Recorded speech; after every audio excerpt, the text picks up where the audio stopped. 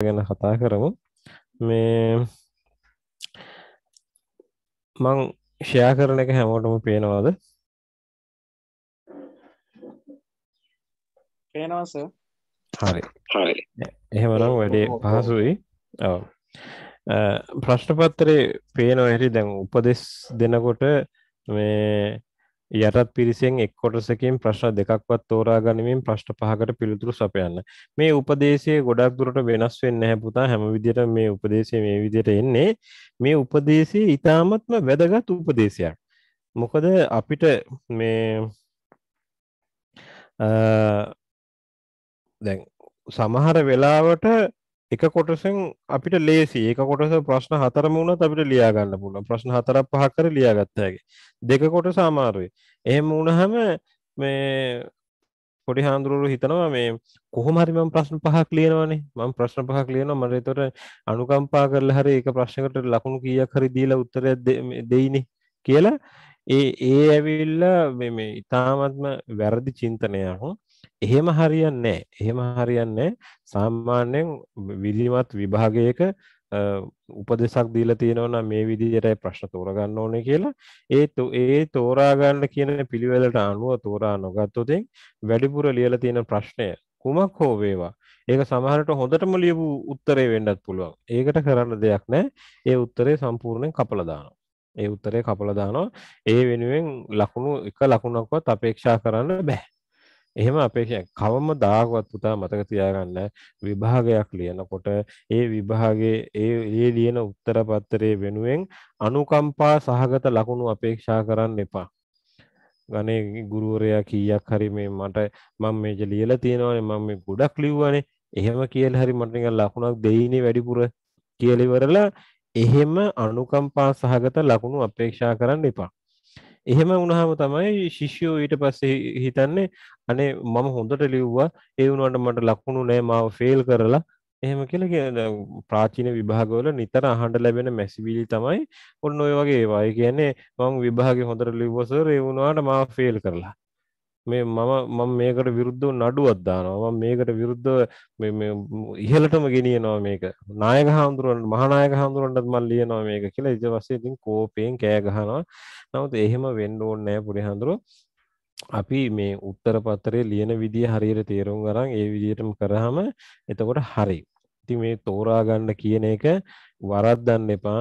මොනම හේතුවක් නිසාවත් මේ එක කොටසකින් ප්‍රශ්න දෙකක්වත් කියලා කිව්වහම ප්‍රශ්න කීයක් අපිට තෝරගන්න පුළුවන්ද ප්‍රශ්න පහයි නම් ලියන්න පුළුවන් එක කොටසකින් උපරිම කීයද තෝරගන්න පුළුවන් අපිට තුනයි ඔව් එක කොටසකින් ප්‍රශ්න තුනයි උපරිම තෝරගන්න පුළුවන්. තොර එක කොටසකින් ප්‍රශ්න තුනක් තෝරාගෙන අනිත් කොටසෙන් ප්‍රශ්න දෙකක් තෝරා ගන්නවා. තුනයි දෙකයි හැටියට තමයි ප්‍රශ්න පහක් වෙන්නේ. දැන් සාමාන්‍යයෙන් ලෝකේ පිළිගත්ත ප්‍රශ්නපත්තර හදන රටාවට අනුව ප්‍රශ්න දහයක් දීලා පහක් ලියන්න කියනවා කියන එක ඉතාමත්ම ලෙහෙසි ප්‍රශ්නපත්තරයක් පුතේ. හොඳේ? සාමාන්‍යයෙන් ප්‍රශ්න අටක් දීලා පහක් ලියන්න තමයි කියන්න ඕන. අටක් දීලා පහක් ලියන්න කිව්වොතින් අන්න ඒක බොහොම අමාරු ප්‍රශ්න පත්තරයක්. 10ක් දීලා පහක් ලියන්න කියන්නේ ලේසි ප්‍රශ්න පත්තරයක් පුතේ. මොකද 10ක් දීලා පහක් ලියනකොට 150ක්ම අපිට අයින් කරන්න පුළුවන් කියන එකනේ. අපි ප්‍රශ්න පහක්ම අතාරිනවා කියන එකනේ. ඒතර ප්‍රශ්න පහක්ම අතාරිනවා කියලා කියන්නේ අපි අපිට මේ උගන්වපු විෂය ධාරාවෙන් හරියටම 150යි අපෙන් ප්‍රශ්න කරලා තියෙන්නේ. පැහැදිලි නේද මම කියන එක? උගන්නපු විෂය ධාරාවෙන් 150යි මගෙන් අහලා තියෙන්නේ. එතකොට දැන් ප්‍රශ්න 8ක් දීලා ප්‍රශ්න 8ම අහන්නේ මම උගන්නපු විෂය ධාරාව ඔක්කොම ආවරණය වෙන්නේ ප්‍රශ්න 8ක් අහන්නේ.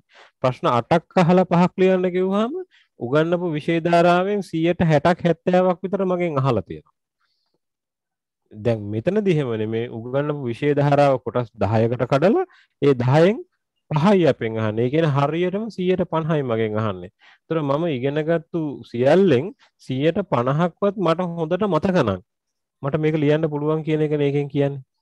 ඉතින් ඒ නිසා සාපේක්ෂව බැලුවහම පුතා මේ තර්කන්‍යය ප්‍රශ්න පත්තරේ නැත්තම් මේ මේ තර්කන්‍යය කියන වචනයට මම එච්චර එකඟ නැහැ. නමුත් ඒකනේ පාවිච්චි කරන වචනේ. මේ තර්කන්‍යය කියන ප්‍රශ්න පත්තරේ සාපේක්ෂව මේ ඉතාමත්ම ලෙහෙසි ප්‍රශ්න පත්තරයක්. මොකද ඒකේ ආකෘතිය හදලා තියෙන ඒ විදිහට ලේසියට. ඊළඟට මේක එක කොටස දෙක කොටස කිව්වහම එක කොටසේ පුතාලට පැහැදිලිව පේන තියෙනවා මේ එක කොටස තියෙන්නේ බ්‍රාහ්මණ තර්ක ශාස්ත්‍රය පිළිබඳව දෙක කොටස තියෙන්නේ බෞද්ධ තර්ක ශාස්ත්‍රය පිළිබඳව එතකොට ඒකත් පටල ගන්න එපා දැන් ගොඩාක් වෙලාවට මේ කොටස් දෙක ඔය විදියට වෙන් කරලම තමයි හඳුන්වල දෙන්නේ ඔය ටික ඔය විදියට තමයි තියෙන්නේ.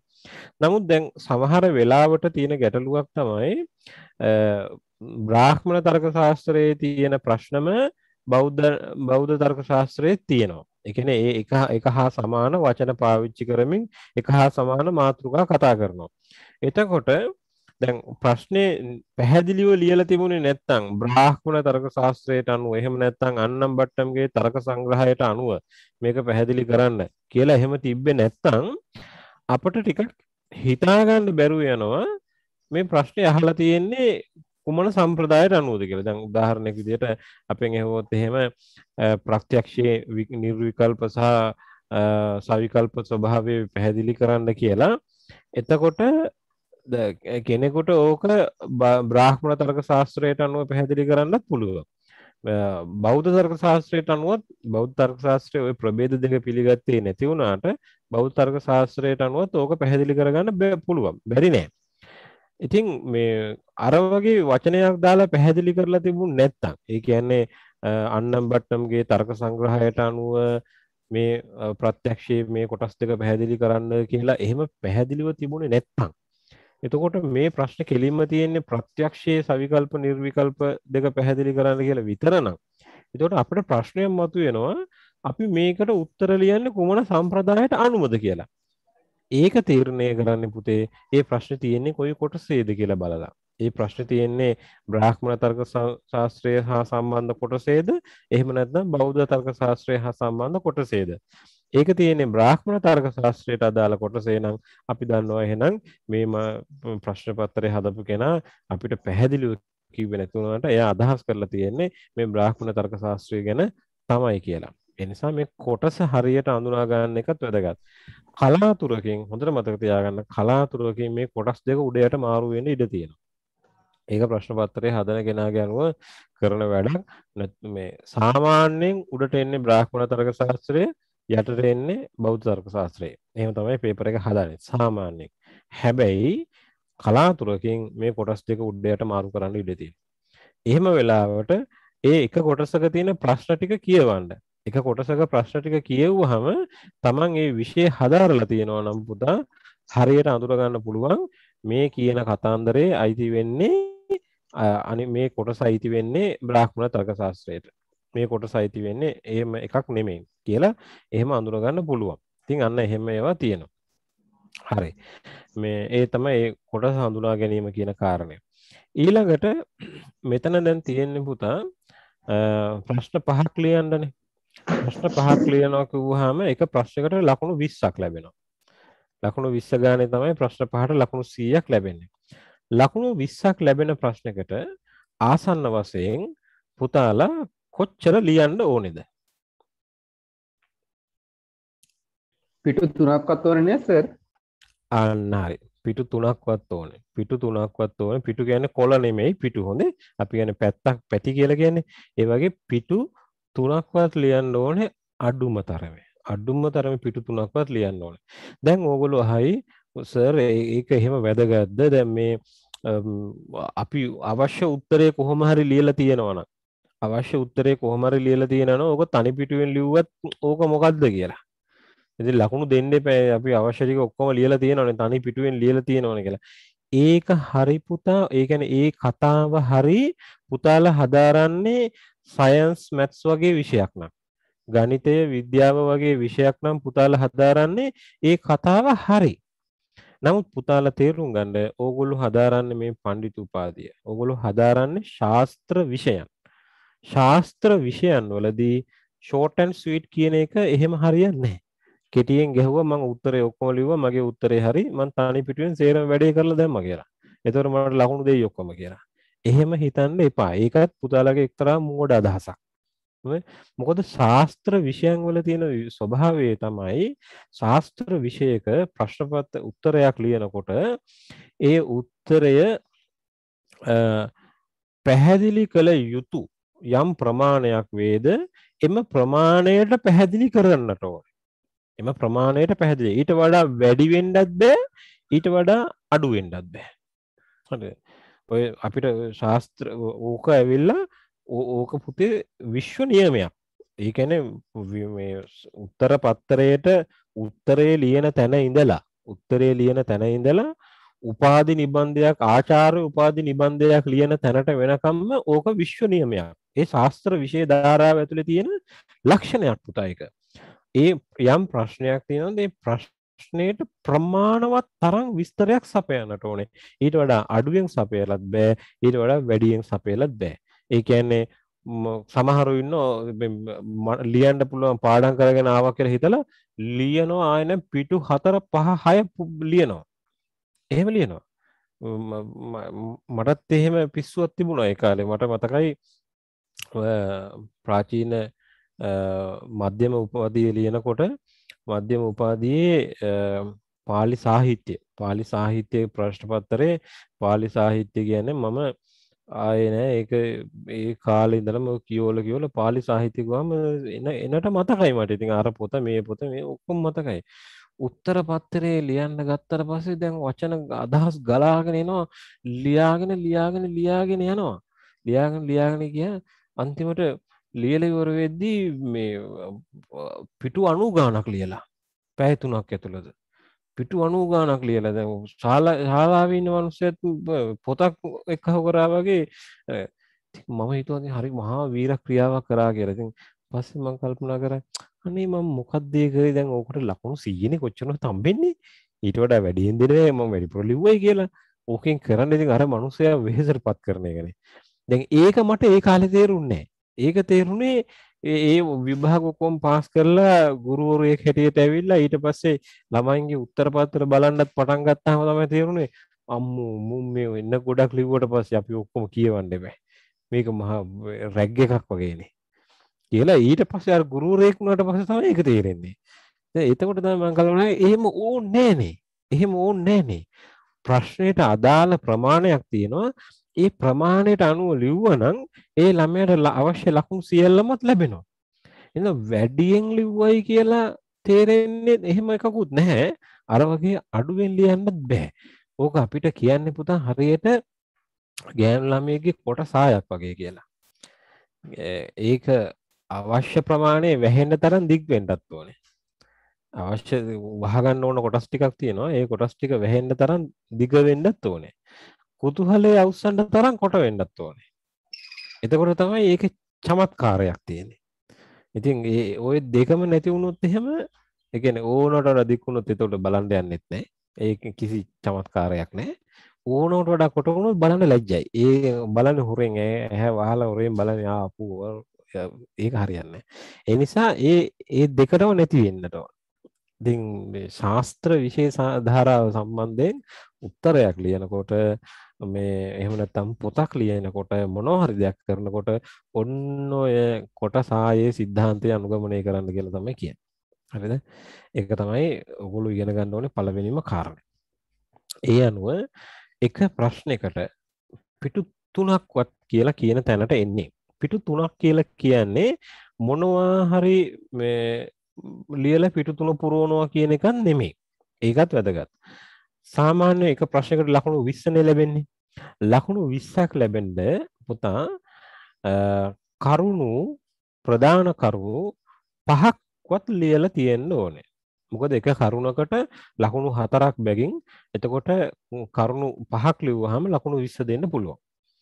එතකොට ඕගොල්ලෝ පොඩි කටුකොලයක් පාවිච්චි කරන්න. නිතරම මම ශිෂ්‍යයන්ට කියන දෙයක් තමයි කටු කොලයක් පාවිච්චි කරන්න නමුත් කටු කොලයක් පාවිච්චි කරන්නේ සියයට අනුවක්ම ශිෂ්‍යෝ කටු කොල පාවිච්චි කරන්න මොකද ඒගොල්ලෝ හිතගෙන කටු කොල පාවිච්චි කරන්නේ ගණන් හදන්න විතරයි කියලා. මේ මේ උත්තර පත්‍ර ලියන්න කටු කොල පාවිච්චි කරනවා කියලා හිතාගෙන නැහැ. එහෙම වෙන්න එපා. කටු කොලයක් පාවිච්චි කටු කොලයක් පාවිච්චි කරලා මම ලියනවා දැන් ඔන්න පළවෙනි ප්‍රශ්නෙට උත්තර ලියනවා කියලා මම තීරණය කරා. තීරණය කරාම මං ඒක කටුකොලේ බලනවා. මට මේ සම්බන්ධයෙන් කියන්න පුළුවන් කරුණු මොනවද කියලා කරුණු හැටියට. එක පළවෙනි කරුණ මම මේක ලියනවා. දෙක මේක ලියනවා. තුන මේක ලියනවා. කියලා කරුණු පහක් අපි හදාගන්නවා. කරුණු පහක්. හදාගෙන ඒ කරුණු පහ පිළිවෙලකට අනුපිළිවෙලක් තියෙන ඕන පුතාර මේ ආදි කල්යාණම් මජ්ජේ කල්යාණම් පරියෝසాన කල්යාණම් කිව්වා වගේ මුල මැද අග යහපත් වෙන විදිහට පිළිවෙලක් තියෙන්න ඕන. ඒ කරුණු ටික මතක් කරනකොට පිළිවෙල නැති වෙන්න පුළුවන්. නමුත් ලියනකොට අපිට අනුපිළිවෙලක් හදාගන්න පුළුවන්. මේක අපි ඉස්සෙල්ලා මේ කරුණ ලියමු. ඊට පස්සේ අංක දෙක මේ කරුණ ලියමු කියලා. ඊට පස්සේ අපි අංක දාගන්නවා. ඒ කරුණු පහ ලියාගත්තා. කරුණු පහ ලියාගෙන ඒ කරුණු පහට ගැලපෙන විදිහට අනුපිළිවෙලට අංක පහ දාගන්නවා. 1 2 3 4 5 කියලා. දාගෙන පළවෙනි කරුණ කියලා මං හඳුනාගත්ත එකට මං අන්න ඊට පස්සේ ඒ කරුණ ලියනවා පැහැදිලි කරමින්. මේක මෙහෙම වෙනවා මෙහෙම වෙනවා අරහෙම වෙනවා කිය කිය ලියනවා. ඒක මම සම්පූර්ණ ඡේදයකින් ඉවර කරනවා. ඊට පස්සේ දෙවෙනි කරුණත් අරගන්නවා දෙවෙනි කරුණ තව ඡේදයකින් ලියන්නේ. අරකට එකතු කරන්නේ තුන්වෙනි කරුණ ගන්නවා. ඒක තව ඡේදයකින් ලියන්නේ. මේ විදිහට කරුණු පහ ඡේද පහකින් ලියන්නේ පුතා. කරුණු පහ ඡේද පහකින් ලියන්නේ. ඇතැම් අවස්ථාවලදී කරුණු හයක් තියෙන්න පුළුවන්. එහෙම වුණොත් ඡේද හයක් ලියන්න. ඇතැම් අවස්ථාවලදී කරුණු හතරක් වෙන්න පුළුවන්. එතකොට ඡේද හතරකින් ලියන්න. නමුත් උපරිම උත්සාහ කරන්න උපරිම උත්සාහ කරන්න කරුණු පහක් කොහොම හරි හදාගන්න. කරුණු ඕගොල්ලෝ දැන් පාඩම් සටහන් හදනවනේ ෂෝට් නෝට් හදනවනේ ඒ ෂෝට් නෝට් හදනකොටත් පුළුවන් තරම් කරුණු හැටියට ෂෝට් නෝට් හදාගන්න උත්සාහ කරන්න. මොකද ඒ කරුණු මතක තිබ්බහම ඒ කරුණු විශ්ලේෂණය කරන්න පුළුවන් නම් පුතාලට පුළුවන් ඒ අදාළ ඡේදය ලියා ගන්න. ඒ විදියට කරුණු හැටියට අරගෙන කරුණු පහ ඡේද පහකට ලිව්වහම පුතා අර පිටු තුන ලියවෙනවා. ඒ පිටුතුන ලියවෙනවා. එතකොට උත්තර පත්‍ර බලන මනුස්සයාට හරිම පහසුයි මේ මනුස්සයා අදාළ උත්තරයට ගැලපෙන පරිදි කරුණු පහක් ඉතාම ලස්සනට පැහැදිලි කරලා තියෙනවා මේ ඡේද පහකින්. එක ඡේදයකට ලකුණු හතර ගානේ කොහෙන්වත් ලකුණු කපන්න හිතෙන්නේ හැම ඡේදයකම හරි ලස්සනට ලියලා තියෙනවා කරුණු ලකුණු 20ම හම්බ වෙනවා පුතා. ලකුණු 20 දෙන්න බෑ කියලා හිතනොත් දැන් ඔය ශාස්ත්‍ර විෂයන් වලදී ලකුණු දෙන්නේ නැහැ ගොඩක් වෙලාවට 100ට අර අර ගණන් වල වගේ දෙන්නේ නැහැ. එහෙම වුණත් ඒ ගුරුවරයා ලකුණු 18ක් 19ක් තරම් ඉහළ ලකුණු ප්‍රමාණයක් ඒකට දෙනවා. ඇයි ඊටාම පහසුයි. ගුරුවරයාට බලන කෙනාට කිසි වෙහෙසක් නැහැ. කිසි වෙහෙසක් නැහැ. අඳුන ගන්න අපහසු නැහැ. ප්‍රශ්නයට අදාළ පිළිතුරු පිළිතුර ඊටාම නිවැරදිව පිළිවෙලකට හරිගස්සලා තියෙනවා. පැහැදිලි නේද? ඔන්න ඔය ක්‍රමයට තමයි උත්තර ලියන්න ඕනේ. දැන් ඕගොල්ලෝ පොඩ්ඩක් ඕගොල්ලෝ ගැනම හිතලා බලන්න පුතා. අපි මෙච්චර දවසක් ප්‍රාරම්භ කරා, මධ්‍ය කළා. අපි මේ විදියට හිතලා මේ විදියට ප්‍රශ්න ගොනු කරලා ලියන්න අපි පුරුදු වෙලා හිටියද කියලා. ඉතින් ඒ නිසා අද ඒක හදා ගන්න ඕනේ. දැන් ඒ කියපු කාරණා සම්බන්ධයෙන් මොනවා හරි ගැටලුවක් තියෙනවා නම් අහන්න සහ තේරිච්ච නැති තැනක් තියෙනවා නම් තව ප්‍රශ්න කළ යුතු තැනක් අහන්න සහ ඔයගොල්ලන්ගේ අදහසක් අත්දැකීමක් තියෙනවා නම් බෙදා ගන්න මම පොඩි අවස්ථාව දෙනවා මේ ප්‍රශ්න පත්‍රය සාකච්ඡා කරන්න කලින්.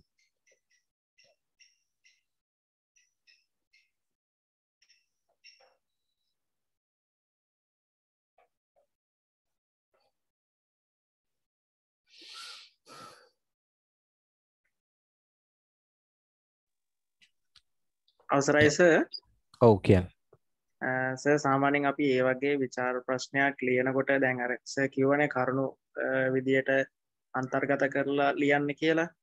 එතකොටසේ කරුණුවලට අමතරවස දැන් අපි විචාරයක් ලියන්න පටන් ගන්න කොටස ඒකට අවස්ථා ඒකට අවශ්‍යාර ඊට ප්‍රස්ථාව අපි හදාගන්න ඕන නිස අපි වෙනමම ඡේදයක් වෙන් කරලා. ඔය කියන්නේ මේ හැඳින්වීම කියන එකද? ඕස මං අන්න බොහොම හොඳ ප්‍රශ්නයක් පුතේ ඇහුවේ. මේ ඉතාමත්ම පැහැදිලිව කියනට ඕනේ හැඳින්වීම කියන එක අපි කරුණක් හිදියට සලකන්නේ නැහැ. ඕගොල්ලන්ගේ හැඳින්වීමට ඕගොල්ලන්ට අතිරේක ලකුණක් ලැබෙන්නෙත් නැහැ. හැඳින්වීම කියන එක ඕගොල්ලන්ගේ ප්‍රශ්නෙට අදාළව පොඩි හැඳින්වීමක් කරොත් ඒ හොඳටම ඇති. දැන් ගොඩාක් වෙලාවට පුතා මම දකින දෙයක් තමයි දැන් ඔන්න පළවෙනි ප්‍රශ්නේ තියෙන පදාර්ථ යන්නෙහි අර්ථ දක්වා ඒක ලියන්න. ඕක ලියන්න කිව්වහම පුතා මේ ඔන්න ගෞතමක්ෂපාද තර්ක ශාස්ත්‍රයේ හදපු හැටි න්‍යාය සූත්‍රයේ ලියපු හැටි. අන්නම් බට්ටම්ගේ තර්ක සංග්‍රහය කියන්නේ මොකද්ද? අන්නම් බට්ටම් කියන්නේ කවුද? තර්ක සංග්‍රහයේ කොටස් කීයක් තියෙනවද? මේ ඔක්කොම ටික ලියනවා. මේ ඔක්කොම ටික ලියලා ලියලා තමයි අර පදාර්ථ ගැන කතාවට එන්නේ. ඒක පුතා උත්තරයක් ලියන්න පුළුවන් නරකම ක්‍රමයක් නරකම ක්‍රමයක්. එහෙම ලියන්න එපා. මොකද ඕගොල්ලෝ මේ ලියන්නේ පුතා ඕගොල්ලන්ගේ දැනුම ගැන ඒ ඕගොල්ලන්ගේ දැන් මට මේ විෂය ගැන මෙච්චර දැනුමක් තියෙනවා කියලා ඒ ඒ විෂය ගැන දන්න තව මිනිස්සෙකුට කියලා දෙන්න. එයා ඉස්සරහ පෙන්වන්නයි හදන්නේ. කොටින්ම කියනවා නම් අපි කලර්ස් පෙන්නනවා, වැඩ පෙන්නනවා වගේ දෙයක් තමයි අපි මේකෙන් කරන්නේ. එතකොට මේක මේ දහම් පාසලේ ඉන්න ශිෂ්‍යයෙකුට මේ විෂය උගන්වන්න හරි පෝයගේ ඉන්න මේ උපාසකම්ම කෙනෙකුට බණ කියලා දෙනවා වගේ එයාට මේ කරුණු පැහැදිලි කරන්න හරි එහෙම ඕනේ පුතා. එතකොට ඒ ඒ මේ උත්තර පත්තරේ බලන මනුස්සයා ඌව දන්නවා. එයා දන්නවා කවුද කවුද ගෞතමක්ෂපාද කවුද මොකද්ද න්‍යාය සූත්‍රය කියන්නේ ඒ ඔක්කොම එයා දන්නවා. එයාට අමුතුවෙන් ඔය ඔක්කොම උගන්වන්න ඕනේ ඒ නිසා ඒ ප්‍රශ්නයට ගැලපෙන විදියට දැන් ඔන්න අපි පළවෙනි ප්‍රශ්නේ ගමුකෝ පදාර්ථයන්ෙහි අර්ථ දක්වා අභාව පදාර්ථයේ විග්‍රහය. එතකොට අපිට ප්‍රවේශයක් ගන්න ඕනේ පුතේ පදාර්ථ කියන එක පැහැදිලි කර ගැනීමට. ඒ පදාර්ථ කියන එක පැහැදිලි කර ගැනීමේදී අන්න ඒකට ගැලපෙන ප්‍රවේශයේ විතරක් අපි අරගන්න උදාහරණයක් විදිහට අපි කියනවා අන්නම් බට්ටම්ගේ තර්ක සංග්‍රහය ආරම්භ වන්නේ වෛශේෂිකයන්ගේ සප්ත පදාර්ථ පැහැදිලි කර දීමේ. සප්ත පදාර්ථ යනුවෙන් වෛශේෂිකයන් හඳුනාගත්තේ කියලා අන්න ලියනවා පොඩි විස්තරය. එතකොට අර ප්‍රශ්න දීලා තියෙන විදිහට පදාර්ථ යන්නේහි අර්ථ දක්වා කියලා කැලලක් තියෙනවනේ. අන්න ඒ කොටසම තමයි මේ ප්‍රශ්නේ හැඳින්වීම බවට පත් වෙන්නේ. ඒ ඇරෙන්ඩ අන්නම් බට්ටම් කොහෙද හිටියේ? නැත්තන් න්‍යාය කොහෙද හටගත්තේ? වෛශේෂික සූත්‍රය කොහෙද ලිව්වේ? ඕව ලියන්න යන්න එපා. පැහැදිලි නේද මම කියන එක? ඒ නිසා හැමතිස්සෙම ඉන්ට්‍රඩක්ෂන් නැත්තං හැඳින්වීම කියන එකට ලොකු බරක් දෙන්න එපා. ඒක තමන් ලියන ප්‍රශ්නයට පොඩි ප්‍රවේශයක් ගන්න කරන උත්සාහයක් පමණයි. නැත්තං එක පාට පදාර්ථ කියන්න මෙන්න මෙහෙමයි කියලා ලිව්වාම ඒක ඒකත්තික ගැලපෙන්නේ හැනේ ඒක ඒක හරි අමාරුවෙන ඒක දිරවගන්න ඒ හින්දා ඒ සඳහා පොඩි ප්‍රවේශයක් ගන්න තමයි ලියන්න. ඉතින් මං බොහොමත් ස්තුතිවන්ත වෙනවා මේ පොඩි හාමුදුරු අහපු ප්‍රශ්නෙට. ඒක බොහොම හොඳ ප්‍රශ්නයක්. ඒ වගේ තව මොන හරි තියෙනවා නම් කියන්න.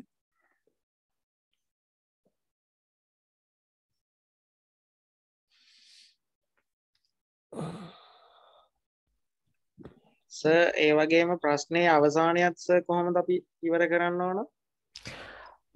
ප්‍රශ්න එක අවසානය කියන එක හැමතිස්සේම මේ අපි ගැන කන්කලූෂන් එකක් නිගමනයක් එහෙම නැත්තම් සාරාංශ කිරීමක් ඔය වගේ ක්‍රම කීපයකින් ක්‍රම කීපයකින් එකක් ගැලපෙන්න්න පුළුවන් ප්‍රශ්නයට හරියන විදියට. දැන් දැන් මේ අහලා තියෙන ප්‍රශ්න පළවෙනි එක පදාර්ථ යන්නේ අර්ථ දක්වා අභාව පදාර්ථය විස්තර කරන්න.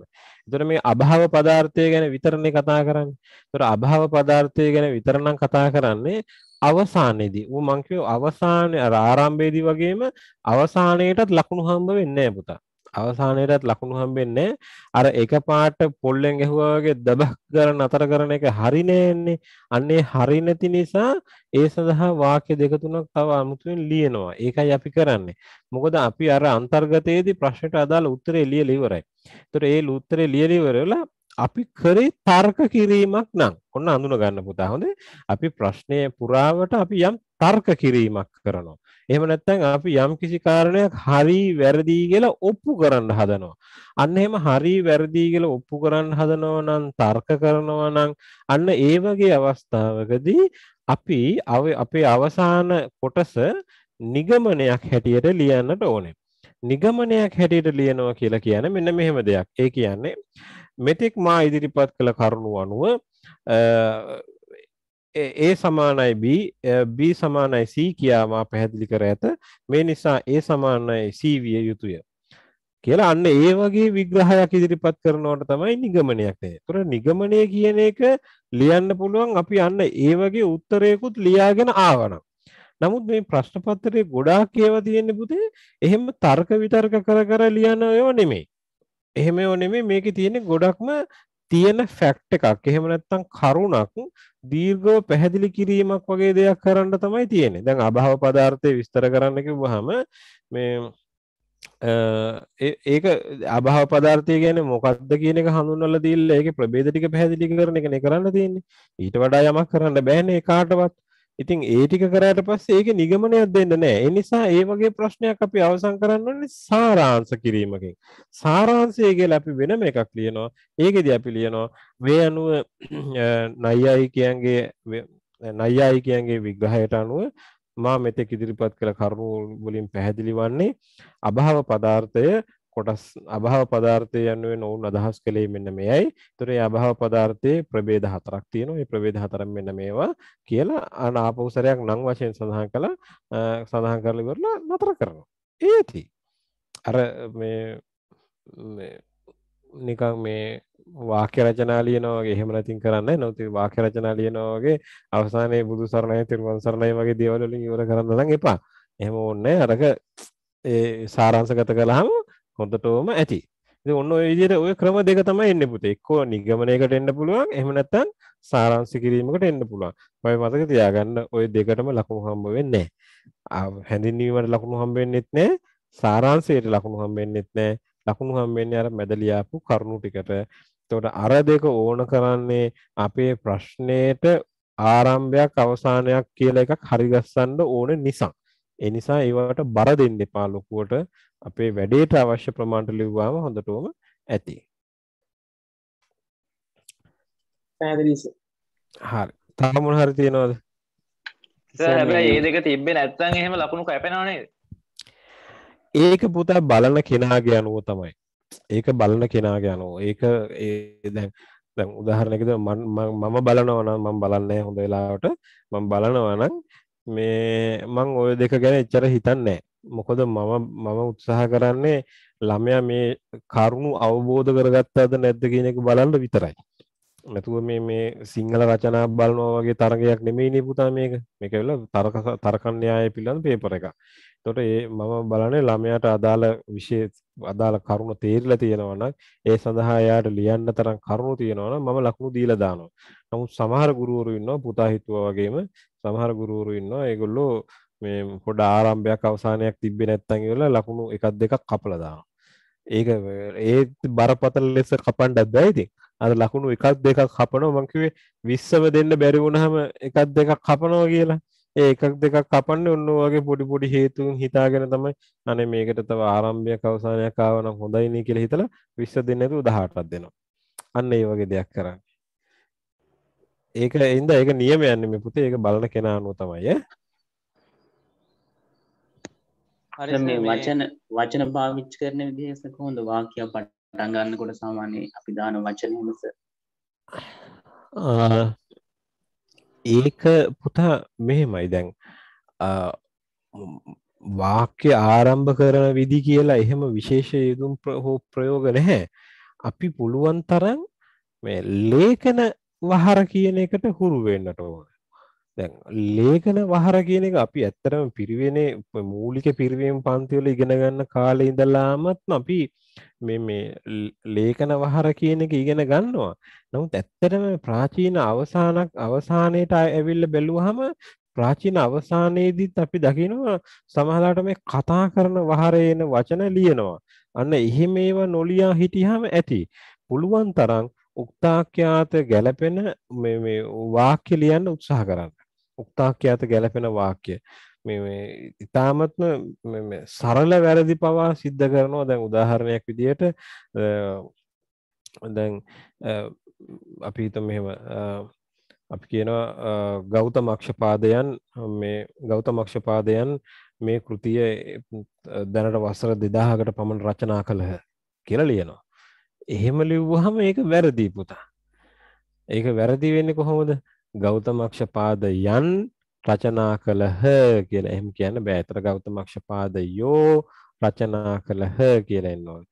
ඒතකොට අන්න ඒ වගේ මේ මේ ඊ타මත්ම අන්කොන්ෂස් ලෙස ඒ කියන්නේ අවිඥානික ලෙස ඔය වගේ මේ මේ මෝඩ වැරදි කරනවා උත්තර ලියනකොට. ඉතින් ඒ නිසා පොඩි ඒකට නම් පුතේ මේ මේ සරල විසඳුමක් නැහැ. උත්තර ලියලා එහෙම උත්තර නැත්තම් රචනා වගේ දේවල් ලියලා ලියලා පොඩි පුහුණුවක් තියෙන්න ඕනේ. ඒ පුහුණුවත් එක්ක එනවා එහෙම.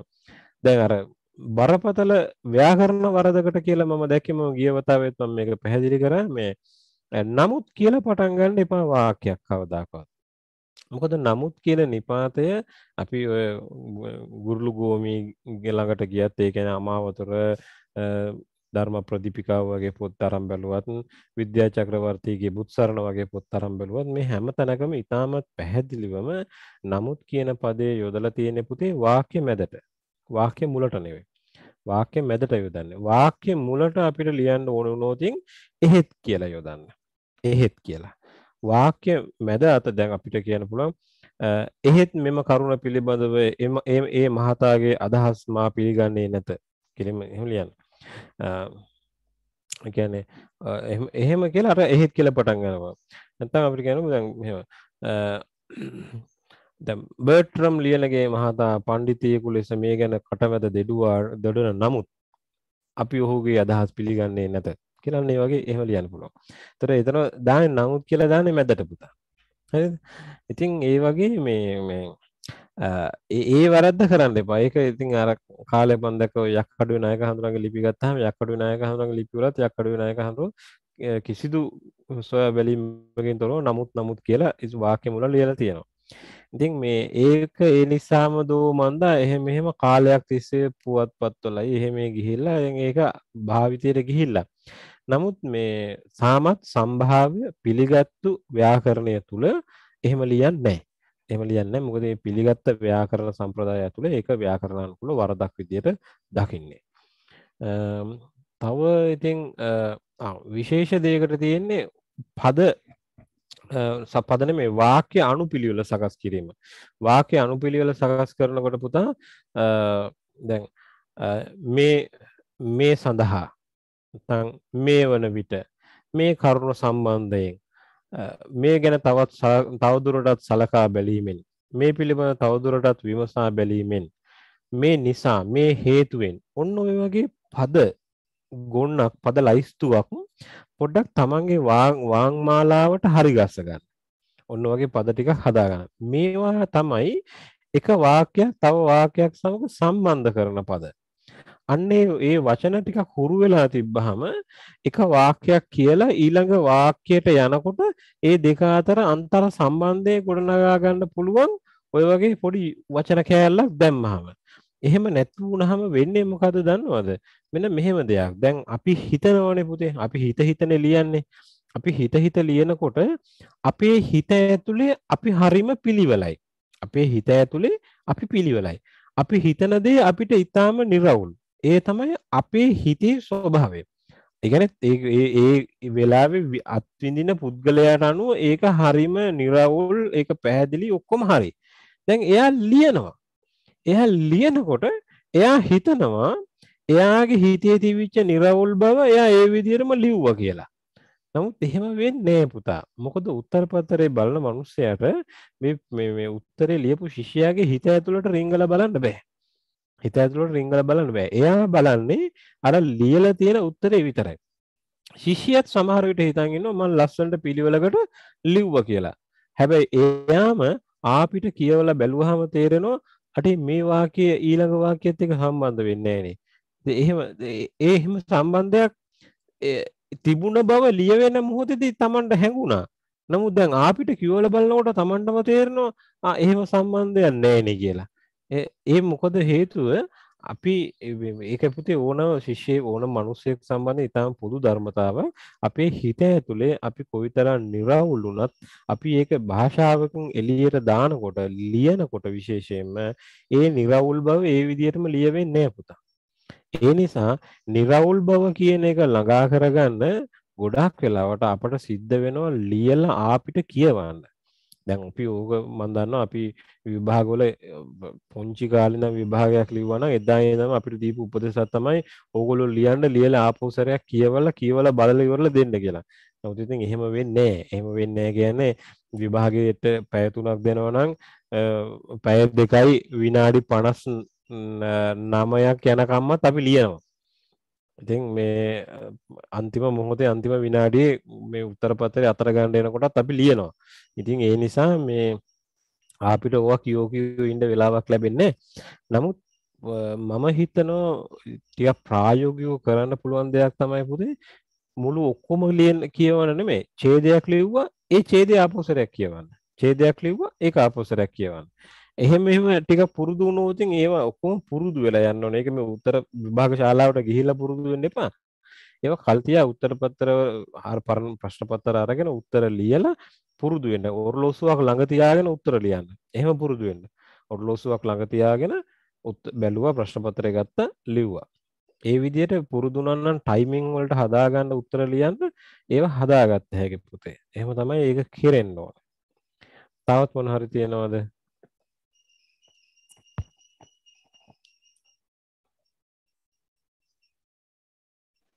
ප්‍රශ්න පත්‍ර කතාවට අදාළ එකක් නෙමෙයි පොඩි දෙයක් අහන්න. අහන්න දරු දරුවා දරුවා හරි කියන්නේ දරු දියණි කියන වචන වලට පාලියෙන් සිංහලෙන් වචන තියෙනවද මේ? තියෙන වචනේ මොකක්ද? දරුවා කියන වචනේ තියෙන්නේ පුතේ ධාරක ධාරිකා කියන පද දෙකනේ ධාරක ධාරිකා. හරි එතකොට ඒක බිඳලා එන්නේ එහෙම තමයිනේ. ඔව් ඔව්.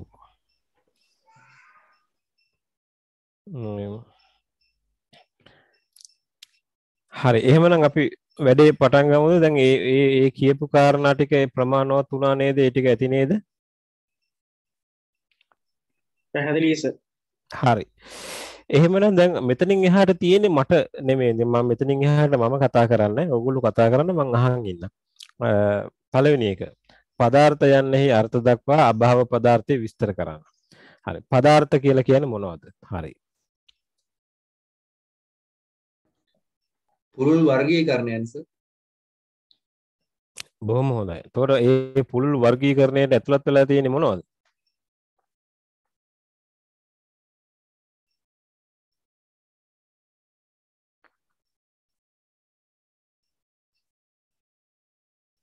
ලෝකයේ දාන්න පුළුවන් හැම දෙයක්ම ඇතුළත් කරලා තියෙනව නේද ඒක?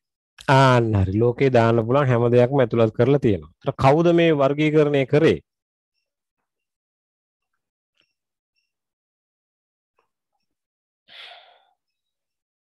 වෛශේෂිකයස අන්න හරි වෛශේෂිකයෝ. ඔන්න ওই ටික ලියවෙන්න ඕනේ පුතේ.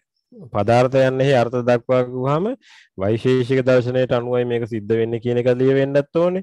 මේවා පදාර්ථ කියලා අදහස් කරන්නේ පුළුල් වර්ගීකරණයන් කියන එක ලියවෙන්නත් ඕනේ. මේ වර්ගීකරණයන්ට භාජනය වෙලා තියෙන්නේ මේ සමස්ත ලෝකයේ තියෙන සියලුම දේ, සමස්ත විශ්වයේ තියෙන සියලුම දේ. මේ වර්ගීකරණයෙන් පිටස්තරව වෙනත් දේවල් තියෙන්න බෑ කියලා වගේ තැනකට තමයි ඔවුන් ඔවුන්ගේ විග්‍රහය සකස් කරේ. මෙන්න මේ කොටස් ටික ඔක්කොම ලියවෙන්න ඕනේ පුතා. ඊළඟට අභාව පදාර්ථය විස්තර කරන්න. අභාව කියන එකෙන් අභාව කියන වචනේ ඉස්සෙල්ලා අපි පැහැදිලි කරනවා. අභාව කියන වචනේ වචනයෙන් නෛයායිකයෝ අදහස් කළේ මොකද්ද? යමක් නැහැ කියන එකද? යමක් නැහැ කියන එකට පොඩි වචනයක් එකතු කරගන්න පුතේ යමක් පවතින්නේ නැහැ කියන එක. ඒ යම් කිසි දෙයක පැවැත්මක් නැහැ කියන එකයි ඒගොල්ලෝ කතා කරේ. හරි? යමක් නෑ කියලා කිව්වහම මොකද ඒකේ ටිකක් ලොකු අර්ථයක් තියෙනවා යමක් දැන් අපිට කෙනෙක් අපාය කියලා එකක් නෑ දිව්‍ය ලෝකය කියලා එකක් නෑ. එහෙම කිව්වහම දැන් එයා නෑ කියලා කියන්නේ එයා එහෙම දෙයක් නැති හින්දාද? එයා ඒක විශ්වාස කරන්නේ නැති හින්දාද? එහෙම එහෙම ප්‍රශ්නයක් තියෙනවා. ඉතින් හරියටම අපි පැහැදිලි වචනේ යොදා ගන්න ඕනේ යම් කිසි දෙයක පැවැත්මක් නෑ. එහෙම එකක් පැව එතන පවතින්නේ නෑ. කියන එකයි අභව කියන එකෙන් අදහස් කරන්නේ. ඉතින් ඒක පොඩ්ඩක් පැහැදිලි කරන්නට ඕනේ. ඒ පැහැදිලි කිරීම සිද්ධ වෙන්න ඕන ටිකක් දාර්ශනික ස්වරූපයකින්. කොහොමද දාර්ශනික ස්වරූපයකින් පැහැදිලි කරනවා කියන්නේ? දැන් වස්තුවක් ගත්තාම මේ වස්තුවට තියෙන්න පුළුවන් පැවැත්ම වර්ග දෙකක්. එකක් තමයි සංකේතාත්මකව පවතින්න පුළුවන්. එහෙම නැත්නම් පදාර්ථයක් හැටියට පවතින්න පුළුවන්. දැන් මෙතන කතා කරන්නේ පදාර්ථයක් හැටියට පවතිනවා කියන එක. පදාර්ථයක් හැටියට පවතිනවා කියලා කියන්නේ ඒ ඒ වස්තුව බාහිර ලෝකේ නැහැයි කියන එක. එතකොට බාහිර ලෝකේ නැහැයි කියන්නේ ඒ වස්තුව කවදාවත් නැහැයි කියන එක නෙමෙයි. යම්කිසි වස්තුවක් කවදාකවත් නැහැයි කියලා කියන්නේ නයියායිකයෝ කවදාකවත් ඉදිරිපත් වුණේ නැහැ. එහෙම එහෙම ඥානයක් මිනිස්සුන්ට හටගන්නේ නැහැ. ඒතකොට නයියායිකයෝ කතා කරන්නේ යම්කිසි වස්තුවක් කිසියම් ස්ථානයක හෝ කිසියම් පරිසරයක ඒක නැත්තං ඒ ඒ මොහොත ඇසුරු කරගෙන ඒ නැහැ කියන විතර නයියායික උත්සාහ කළේ උදාහරණයක් විදිහට අපිට කියන්න පුළුවන් මේසේ උඩ කලයක් නැහැ. ඒතර මේසේ උඩ කල පන්ති කාමරේ අලියෙක් නැහැ. මේ මහද මහතා හාමුදුරු කෙනෙක් ගැන නෙමෙයි මං කියන්නේ මං කියන්නේ පන්ති කාමරේ අලියෙක් නේ අලියෙක් ගැන මම මේ කියන්නේ. ඒතර මේ මේ ඒ ඒ විදියට අපිට අලි අලියෙක් කියලා එකෙක් නැහැ කියලා අපිට කියන්න පුළුවන්ද කවදාකවත්? එහෙම කියන්න බෑ මෙල්ලා මේ මොහොතේ මගේ ළඟ අලිය නැති වෙන්න පුළුවන්. නමුත් අලියා කියලා එකෙක් වෙන කොහේ හරි ඉන්නවා.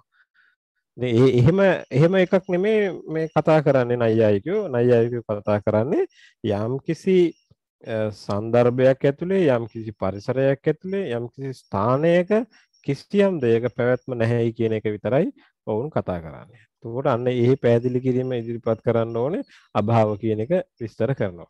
එතකොට ඒ එහෙම නැතිවීම, ඒ පැවැත්ම නැතිවීම කියන එක සිද්ධ වෙන්න පුළුවන් මේ ආකාර හතරක් තියෙනවා. කියලා අන්න ප්‍රභේද හතර පැහැදිලි කරනවා. ආ මේ ප්‍රභේද හතර කියන්න බලන්න.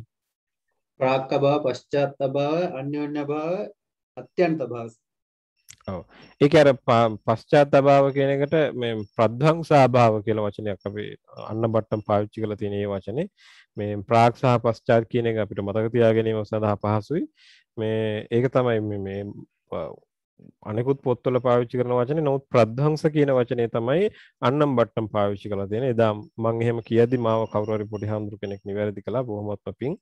මේ ඒක ඒ විදිහට මතක තියාගන්න පුතා. මොකද පොතේ තියෙන විදිහට ලියන්න ඕනේ ප්‍රාග් අභාව ප්‍රධ්වංස අභාව. ඊළඟට අන්‍යෝන්‍ය අභාව සහ අත්‍යන්ත අභාව. ප්‍රාග් අභාව කියලා කිව්වේ මොකක්ද? යමක් හටගන්න කලින් නැහැ කියන්නේ. උදාහරණයක් කියන්න බලන්න ඔන්න ඕක තමයි ඊළඟට කාරණේ. අපි යම් පැහැදිලි කරනකොට උත්තර පත්‍රයේදී විශේෂයෙන්ම ඒ හැම එකකටම පොඩි හෝ උදාහරණයක් දෙන්න උත්සාහ කරන්න. ඒ උදාහරණයක් දෙන්න පුළුවන් වුණොත් තමයි අපිට ඒ ඡේදය සම්පූර්ණ කරන්න පුළුවන් වෙන්නේ.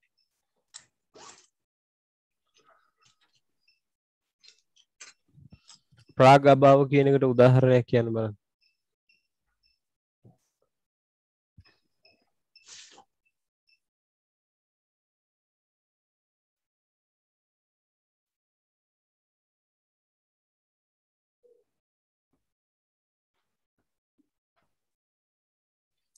මැටිවල කලය නැත. අන්න ඒ වගේ එකක්. මැටි තියෙනවා. මැටි මැටි මැටි වල කලය කියන එකක් නැහැ. ඇයි ඒ කලය කියන එක නැත්තේ? කලය කියන එක හැදෙන්න ඕන. කලය කියන එක හැදෙනකන් ඒක නැහැ කලය හැදෙන්නට පෙර මැටි වලින් කලයක් හැදෙන්නට පෙර මැටි කියන එක ඇතුලේ කලය කියලා එකක් නැහැ ප්‍රාග භාව කියන්නේ ඒකයි. ප්‍රධ්වංස අභාව කියලා කිව්වේ මොකක්ද එහෙනම්? විනාශ කිරීමෙන් පස්සේ නැහැ කියන එක. ආන්න කලයක් තියෙනවා. ඒකට මිටියකින් ගැහුවට පස්සේ ඒ කලේ නෑ එතන. ඊට පස්සේ තියෙන කලයක් නෙමෙයි එතන තියෙන වලං කැලි ගොඩක්. හරි?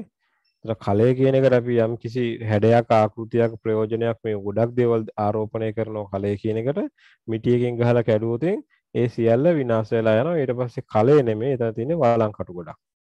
හරි අන්න ඒ වගේ ප්‍රද්ධාස භාව ඊළඟට අන්‍යෝන්‍ය භාව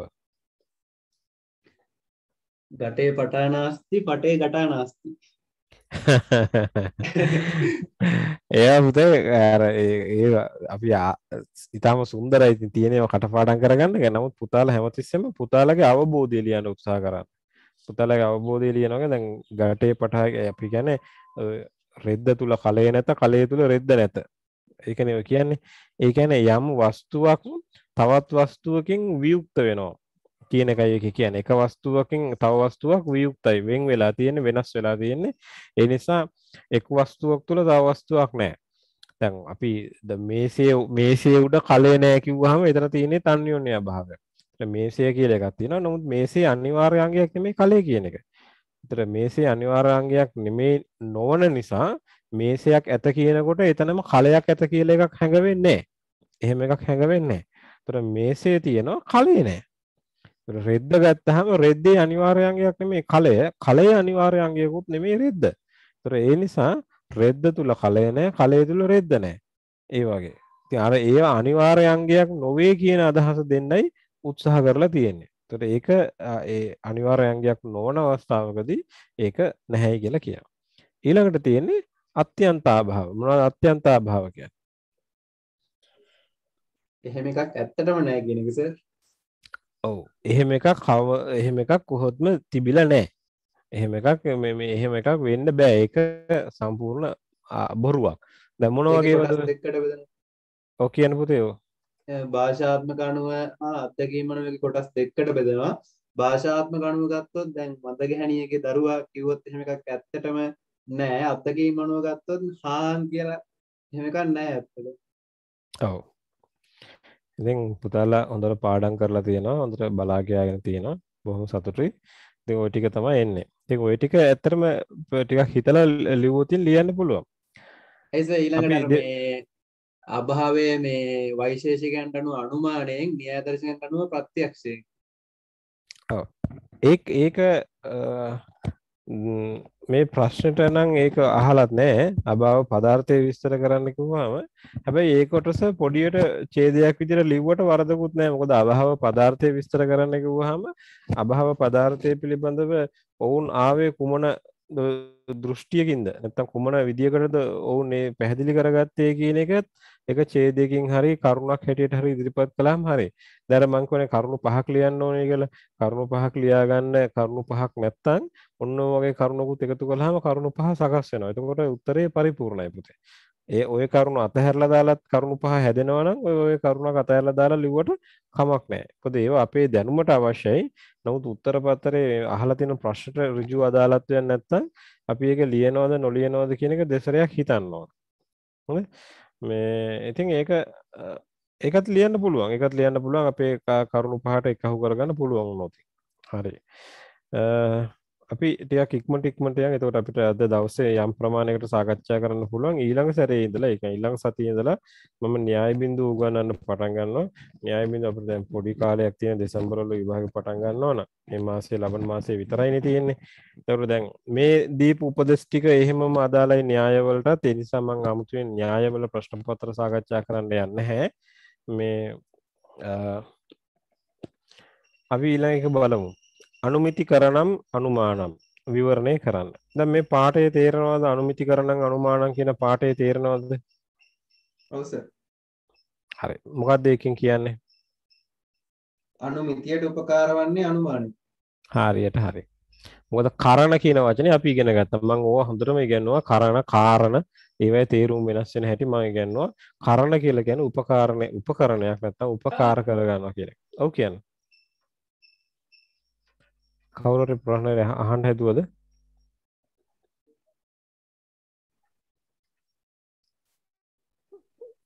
හරි. මේ එතකොට අනුමිති අනුමිති කියන එකයි අනුමාන කියන ඒ වචන දෙකේ වෙනස මොකද්ද පුතා?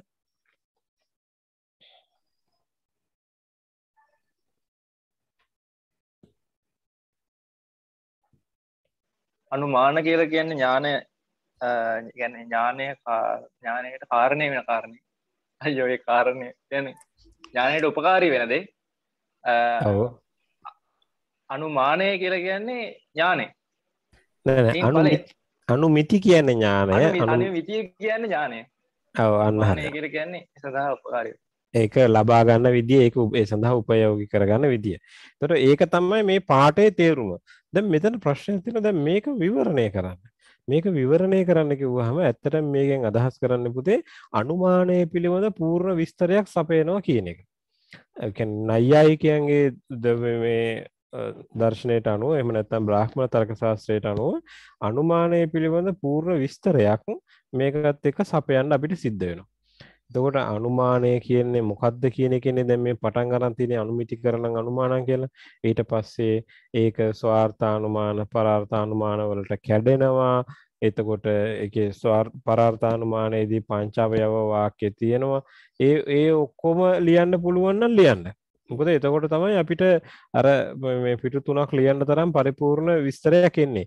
එහෙම නැතුව අ, අනුමානය කියන ඥානය හටගන්නේ මේ මේ කාරණයෙන් ය කියලා ලිව්වොත් ඉතින් එතනම ඉවරයි. ඉතින් ඊට වඩා ඕක විවරණය කරන්න දෙයක් නැහැ නේ. ඊට පස්සේ ඇත්තටම දැන් අ, මෙහෙම ගන්න දැන් අනුමානය යනු අනුමිතිය හටගන්න ක්‍රම උප- හ- අනුමිතිය බිහි කරන උපකරණය නැත්තම් මේ එය බිහි කරන ආකාරයයි.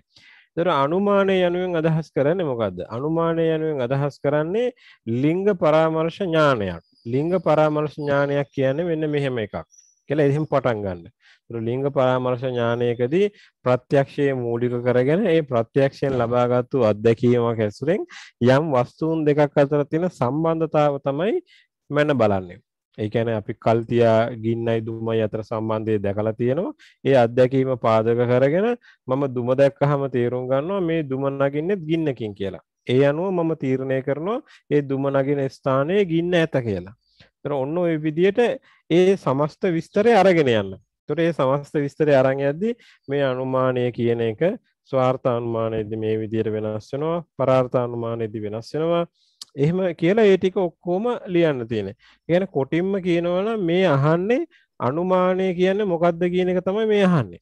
ඒතර අනුමානය කියන්නේ මොකක්ද කියන එක අහලා තියෙන්නේ වෙන විදියකින්. ඒ නිසා මේක බ්‍රාහ්මණ තර්ක ශාස්ත්‍රයේ අනුමානය කියන කොටස පිළිබඳ විවරණයක් තමයි මේකේ ලියන්න තියෙන්නේ. ඊළඟට ඉන්ද්‍රියාර්ථ සන්නිකර්ෂයෙන් ඇතිවන ෂඩ්විධ ඥාන ප්‍රභේද හඳුන්වා දෙන්න. මං ඒක ඒක කියන්න කලින් මෙතන තියෙන වචනයක් ගැන මං කියන ඥාන ප්‍රභේද. මේ මේක පොතේ මේ විශේෂම පණ්ඩිත භික්ෂුන් වහන්සේලා විසින් නොකළ යුතු දෙයක්. ඒ තමයි දැන් අපේ තියෙනවා මේ සංස්කෘත සහ සිංහල කියන භාෂා දෙකේම මේ පරණ උච්චාරණ නීතියක්. ඒ උච්චාරණ නීතිය තමයි යම් වචන දෙකක් එකට කියවෙනකොට පිටිපස්සේ වචනේ පටන් ගන්නෙ හල් ලකුරකින් නම්. දැන් ඔයගලන්ට පේනවා ඥාන කියන පදයයි ප්‍රභේද කියන පදයයි. ගත්තාම ප්‍රභේද කියන වචනේ පටන් ගන්නෙ හල් ලකුරකින්නේ. ඒක පැහැදිලිද කියන්නකෝ හැමෝටම? දැන් කෙනෙක් කියයි නෑ ඒක හල් ලකුරක් නෙමෙයි රකාරාංශයක් නේ තියෙන්නේ කියලා. රකාරාංශයක් කියන එකේ තේරුම් පුතේ රයන්න කියන එකනේ. ඔතන තියෙන්නේ අල්පයන්නයි රයන්නයි. ප්‍ර බලන්න ප්‍ර කියලා කියනකොට අපි එහෙම නේද කියන්නේ? අල්පයන්නයි රයන්නයි. ප්‍ර. පැහැදිලි නේද? ඔව් සර්. හරි එතන තියෙන හල් ලකුරක් මේ විදියට හල් ලකුරකින් පිටිපස්සේ වචනේ පටන් ගන්නවා නම් උච්චාරණයේදී ඒ හල් ලකුර ද්විත්ව කරන්න ඕනේ පුතා. ඒක උච්චාරණ නීතියක්. දැන් ඔය කවුරු හරි කෙනෙක් උච්චාරණය කරොත් ඥාන ප්‍රභේද හඳුන්වා දෙන්න කියලා ඒ උච්චාරණය වැරදි පුතා. ඒක කියවෙන්න ඕනේ ඥාන ප්‍රභේද. ඥාන ප්‍රභේද. නැත්නම් ඥාන ප්‍රභේද නෙමෙයි. ඥාන ප්‍රභේද අන්න ඒක සංස්කෘතයේදීත් සිංහලයේදීත් අනුගමනය කරන උච්චාරණ නීතිය. දැන් අපි ක්‍රම ක්‍රම කියලා ලිව්වහම පුතේ ඒක අපි කොහොමද උච්චාරණය කරන්නේ? ක්‍රම ක්‍රම. ඔව් ඒ අල් අල් කයන්න අල් කයන්නක් අපි දාගන්නේ ඇයි? ඒ දාගන්නේ මේ උච්චාරණ නීතියට අනුව. ඇයි පිටිපස්සේ තියෙන්නේ පිටිපස්සේ තියෙන වචනේ ක්‍රම කියලා පටන් ගන්නකොට ඒ හල් කයන්නෙන් පටන් ගන්නෙ. එනිසා උච්චාරණයේදී අතිරේක හල්කායන්නක් අපි දාගන්නවා ක්‍රමක්‍රම කියලා. දැන් අභිඥාන සාකුන්තලනේ අභිඥාන සාකුන්තලයේ අභිජ් කියලා අල් ජයන්නක් අපි මැද්දට දාගන්නවා. ඇයි පිටිපස්සේ තියෙන පිටිපස්සේ තියෙන හල් ලකුර ඥාන කියන තැන තන හල් ලකුරක් තියෙන ඒ හල් ලකුර අපි ද්විත්වක අභිඥාන සාකුන්තලය කියලා. ඊළඟට අපද්‍රව්‍ය නෙමේ පුතේ අපද්‍රව්‍ය. අපද්‍රව්‍ය ප්‍රසංගය කියන එකක් තියෙනවනේ සර්. අන්න විවිධ ප්‍රසංගය තේරුණා නේද? අන්න ඒ විදිහට ඒක උච්චාරණ නීතියක්. නමුත් මේ එහෙම මෙහෙන් මට ඇහෙනවා උච්චාරණය කරනකොට එහෙම ඒකට අනුව උච්චාරණය කරන්නේ නැති බවක්.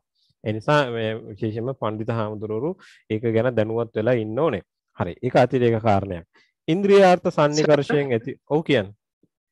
සර් දැන් විසර්ගයේ උච්චාරණයේදී අල් හයන්න අල් කයන්න ඒකේ ඒ දෙක මොකද්ද සර්? විසර්ගය උච්චාරණය කරනවා කියන එක පුතේ ඒක ලංකාවේ උච්චාරණය කරන විදිය ශාස්ත්‍රානුකූල නෑ. ලංකාවිදි උච්චාරණය කරන්නේ හහ ගගානේ. හහ ගගා උච්චාරණය කරන එක ශාස්ත්‍රානුකූල නැහැ කියන්නේ ඉන්දියාවේ පුතේ දැන් රිග්වේද රිග්වේද ප්‍රාතිශාක්‍ය. එතකොට ඔය අපි රිග්වේද සංහිතා ඔය වගේ බොහොම සංහිතනම රිග්වේද ප්‍රාතිශාක්‍ය රිග්වේද තව ශික්ෂා ග්‍රන්ථ ශික්ෂා ග්‍රන්ථවල එහෙම ඉතාම පැහැදිලිව උපදෙස් දීලා තියෙනවා විසර්ගයේ උච්චාරණය කළ යුතු විදිය ගැන.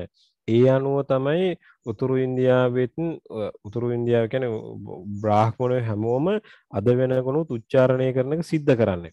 ඒ උච්චාරණය කුමක් හෝ හේතුවක් නිසා ලංකාවේදී ගිලිහිලා තියෙනවා මම හිතන්නේ ලංකාවේ ගිලිහිලා ගියේ ඔය මේ රාජසිංහ රජුණන් කාලේ අධ්‍යාපන පරිහානියත් එක්ක ඊට පස්සේ ලංකාවේ හදාගෙන තියෙන එක වැරදි. ඒක උච්චාරණය කරන්න උපදෙස් දීලා තියෙන්නේම පුතා විසර්ගයේ උච්චාරණය කළ යුත්තේ పూర్ව සොරයේ ධ්වනි දෝංකාරයක් විදියට. పూర్වයෙන් තියෙන සොරය මොකද්ද? ඒ සොරයේ දෝංකාරයක් විදියටයි මේ විසර්ගයේ උච්චාරණය කරන්න ඕනේ. ඒ කියන්නේ දැන් රාම කියලා ගත්තාම පුතේ මයන්නක් නේ තියෙන්නේ. ඒතර මයන්නේ තියෙන්නේ අයන්නක්. ආ කියන ස්වරය. ඒ ඒ ස්වරයට අනුව අපි විසර්ගයේ හදා ගන්න ඕනේ හා කියලා. රාමහා එහෙම. රාමහා එහෙම උච්චාරණය. රාම කියලා නෙමෙයි. ඒක නිකන් අර රාමතෙන් අරිනවා වගේ. රාමහ කියලා එහෙම කියන්නේ රාමහා එහෙම කියන්නේ රාමහා රාමහා කියලා කියන්නේ අර අයන්නම දික් කරන. දැන් හිතන්නකෝ ඉයන්න තිබ්බ කියලා. ඉයන්න තිබ්බනම් ඒ ඉයන්න තමයි දෝංකාර දෙන්නේ. කවිහි කවිහි රාමහා කවිහි වදුහු අන්න එහෙම. එහෙම උච්චාරණය කරනවා. දැන් ඔය ඕ අයි වගේ තැන්වලදී ඕ තිබ්බොතින් ඌ යනවා අයි තිබ්බොතින් ඊ යනවා. ඒ වල අර එකම ඊ ඌ e, කියන ස්වරවල දීර්ඝ වීමක් මේ මේ සංවර්ධිත අවස්ථාවනේ පුතේ ඒ ඕ අයි ඒ ඒ අයි ඕ අව් කියන ඒවා. ඒ නිසා දැන් අපි හිතමුකෝ දැන් ගෝහු ගෝ ගෝහ් කියන්නේ ගෝහු උයන්න කියවෙන්නේ ගෝහු දැන් බුද්ධයිහි අයි හී කියලා බුද්ධයිහි අයි කියලා ඉවර වුණාකොට විසර්ගය කියවෙන්නේ ඊ කියලා. බුද්ධයිහි හයන්නකුත් එක්ක අර සොරය දෝංකාර දීමක් තමයි සිද්ධ වෙන්නේ. අපි අදකත් උච්චාරණය කරන විදියට ඒ කියන්නේ හහ් කියලා සොරේ උච්චාරණය කරන්නේ උපද්මානීය කියන අවස්ථාවේදී සහ උපද්මානීය සහ ජිහ්වාමූලීය කියන අවස්ථාවේදී ජිහ්වාමූලීය උපද්මානීය කියන අවස්ථා දෙකේදී විතරයි ඔය හහ් කියලා විසර්ගය උච්චාරණය කරන්නේ. ඒ කියන්නේ සරලව මතක තියාගන්න ඕන පුතේ කඛා කියන මේ අකුරු දෙක ඉස්සරහේදීත් පා භා කියන අකුරු දෙක ඉස්සරහේදීත් විසර්ගය ඒ විදිහට උච්චාරණය කරනවා. දැන් උදාහරණයක් විදිහට දුක්ඛ කියන තැන දුක්ඛ කියන තැන පිටිපස්සේ තියෙන කයන්නක්. ඒ නිසා ඒක දුක් කියලා නිකම් ඒක බුරනවා වගේ නැත්නම් පිඹිනවා වගේ දුක්ඛ කියලා කියනවා. අන්න එහෙම කියනවා. එතන පයන්න තිබ්බොතින් පිටිපස්සේ ඒත් අපි කියලා උච්චාරණය කරනවා. ඒ අවස්ථා දෙකේදී විතරයි පුතේ විසර්ගය හ් කියලා උච්චාරණය කරන්නේ. ඉතින් ඒ විදිහට මේ ඒවා මේ අද ඊයේ හදාගත්තේ ඕනේ මේ වෛදික යුගයේ ඉඳලම ඒවා ඒ විදිහට උච්චාරණය කරන්න කියලා ඒ පොත්පත්වල ලියලා තියෙනවා පුතා. ලියලා තියෙනවා. ඒ නිසා ඒක මේ කාටවත් ආ ඕගොල්ලෝ මේ බොරුවට ඉන්දියන් කාරයන් අනුගමනය කරනවා කියලා එහෙම කියන්න පුළුවන් එකක් නෙමෙයි. ඒකේ ශාස්ත්‍රීය පදනමක් සහිතව ඒ උච්චාරණය අපි කියන්නේ මුල් බැහැගෙන තියෙන්නේ. ඒ නිසා ඒක අපේ රටේ මම දන්නේ කවදා හැදෙයිද කියලා. නමුත් ඉතින් එහෙම තමයි ඒක උච්චාරණය වෙන්න ඕනේ. සර් ශ්ලෝකකදී එහෙම ඉතින් ඕක සමහරක් තැන්වලදී ගැලපෙන්නේ නැහැ වගේ තේරෙනවා. ඒ ඒක මෙහෙමයි පුතේ. ඔව් කිය. ඔව් කියන්න. කියන්න. සර් මේ සර් දුන්න සටහන් වලින් අපිට කොටසක් ලැබිලා නැහැ. ඒ කියන්නේ ප්‍රත්‍යක්ෂය අනුමානය ඊළඟට සන්නිකර්ෂණ ගැන ඒ කිව්ව ටික අපිට ලැබිලා නැහැ. එතනින් පහළ තිරූප ඒ ලිංගේ ඉඳන් ඒ ටික ලැබිලා තියෙනවා. උඩ ටික ලැබිලා තියෙනවා. ඒ ටික අපිට මං ඒ ඒ ඒක ඒ ඩොකියුමන්ට් එක මං අප්ඩේට් කරන්න මං අද නැත්තම් හෙට මං ඒ පරණ ටික දාන්නම් මගේ ළඟ කොහොම හරි එක එක දවසක විතරක් පන්තියේ නෝට් එක මගේ ළඟ නෑ. ඒ කියන්නේ මගේ කම්පියුටර් එකෙන් ඒක මැකිලා ගිහිල්ලා හරි මොන හරි වෙලා ඒක එක දවසක විතර නෝට් එක නෑ. අනිත් නෝට්ස් ටික තියෙනවා. මං ඒ දාපු Google Doc එකම අප්ඩේට් කරන්න ඒකට ඉතුරු ටික මම දාන්න. ඒක බලන්න පුළුවන්. මේ අර ස්ලෝකයකදී උච්චාරණය වෙනවා කියන එක කාරණය පුතේ දැන් ඒක මෙහෙමයි දැන් ශ්ලෝක ශ්ලෝක ගායනා කරන සාම්ප්‍රදායික තාල විශේෂයන් තියෙනවා. නමුත් ලංකාවේ එහෙම නෙමෙයි ලංකාවේ ශ්ලෝක ලස්සනට නිකන් එක්කෝ ඇදලා පැදලා කියනවා එහෙම නැත්තම් මේ බෝධි පූජා ගාථා කියන්න වගේ ශ්ලෝක කියනවා එහෙම කියන්න ගියාම විසර්ගය කියාගන්න බෑ පුතා. ඔය ඔය කියන විදිහට කියන්න බෑ. ඒක මම පිළිගන්නවා. නමුත් එහෙම නෙමෙයි ඔය ශ්ලෝක කිය ඔය හැම වෘත්තයකට අපි කියන වසන්ත තිලකා හරි මොකක් කර ඔය කියන වෘත්ත තියෙනවනේ. ඔය වෘත්තවලට මේ සාම්ප්‍රදායික තාල තියෙනවා පුතා. එහෙම ඒවා අපේ රටේ කවදාකවත් උච්චාරණය වෙලාවත් එහෙම හැදෑරීමක් කරලා නැහැ. මම හිතන්නේ මේ මේ කියන්නේ මමවත් ඇත්තට ඒක කරේ නැහැ. මොකද අපේ හිටියා මැඩම් කෙනෙක් ත්‍රිපාටි කියලා. ඒ ත්‍රිපාටි මැඩම් මේ ඉතාම ප්‍රවීණයෙක් ඔය ශ්ලෝක ගායනා කිරීම ගැන එයාට එයා බ්‍රාහ්මණ කාන්තාවක් එයාගේ අම්මල තාත්තලාගෙන් එයා ඒව ඉගෙනගෙන වෛදික පරම්පරාවකට සම්බන්ධ කෙනෙක් ත්‍රිපාටි මැඩම් කියන්නේ. ඒ ත්‍රිපාටි මැඩම් අපිට මේ මේ ක්ලාස් එකේදී දවසක් ඒ වෘත්ත කීපයක් වෘත්ත තාල කීපයක් ගායනා කරලා පෙන්වුවා. මට මතක විදිහට පුතේ YouTube එකක වීඩියෝ එකකුත් තිබුණා වගේ. යාන්තමට නිකන් එහෙම මෙහෙම පොඩි මතකයක් තියෙනවා ඔය වෘත්තවල තියෙන සාම්ප්‍රදායික තාල. ඒ සාම්ප්‍රදායික තාල අරන් බැලුවාම ඒ තාල ඇතුලේ මේ ඔය ශ්ලෝක ශ්ලෝක ගායනා කරද්දිත් ඔය විසර්ගය ඔය විදිහට උච්චාරණය කරනවා කියන එක ගැටලුවක් නෙමෙයි. ඒවා ගැටලුවක් වෙලා තියෙන්නේ ඒ සාම්ප්‍රදායික තාල වෙනුවට අපි අද නිකන් අර අමුතු අමුතු කියන්නේ පාලි ගාථා කියන තාල වලින් අපි කියන්න හදනවා ශ්ලෝක. එහෙම කියන්න හරි අමාරුයි පුතේ. දැන් උදාහරණයක් විදිහට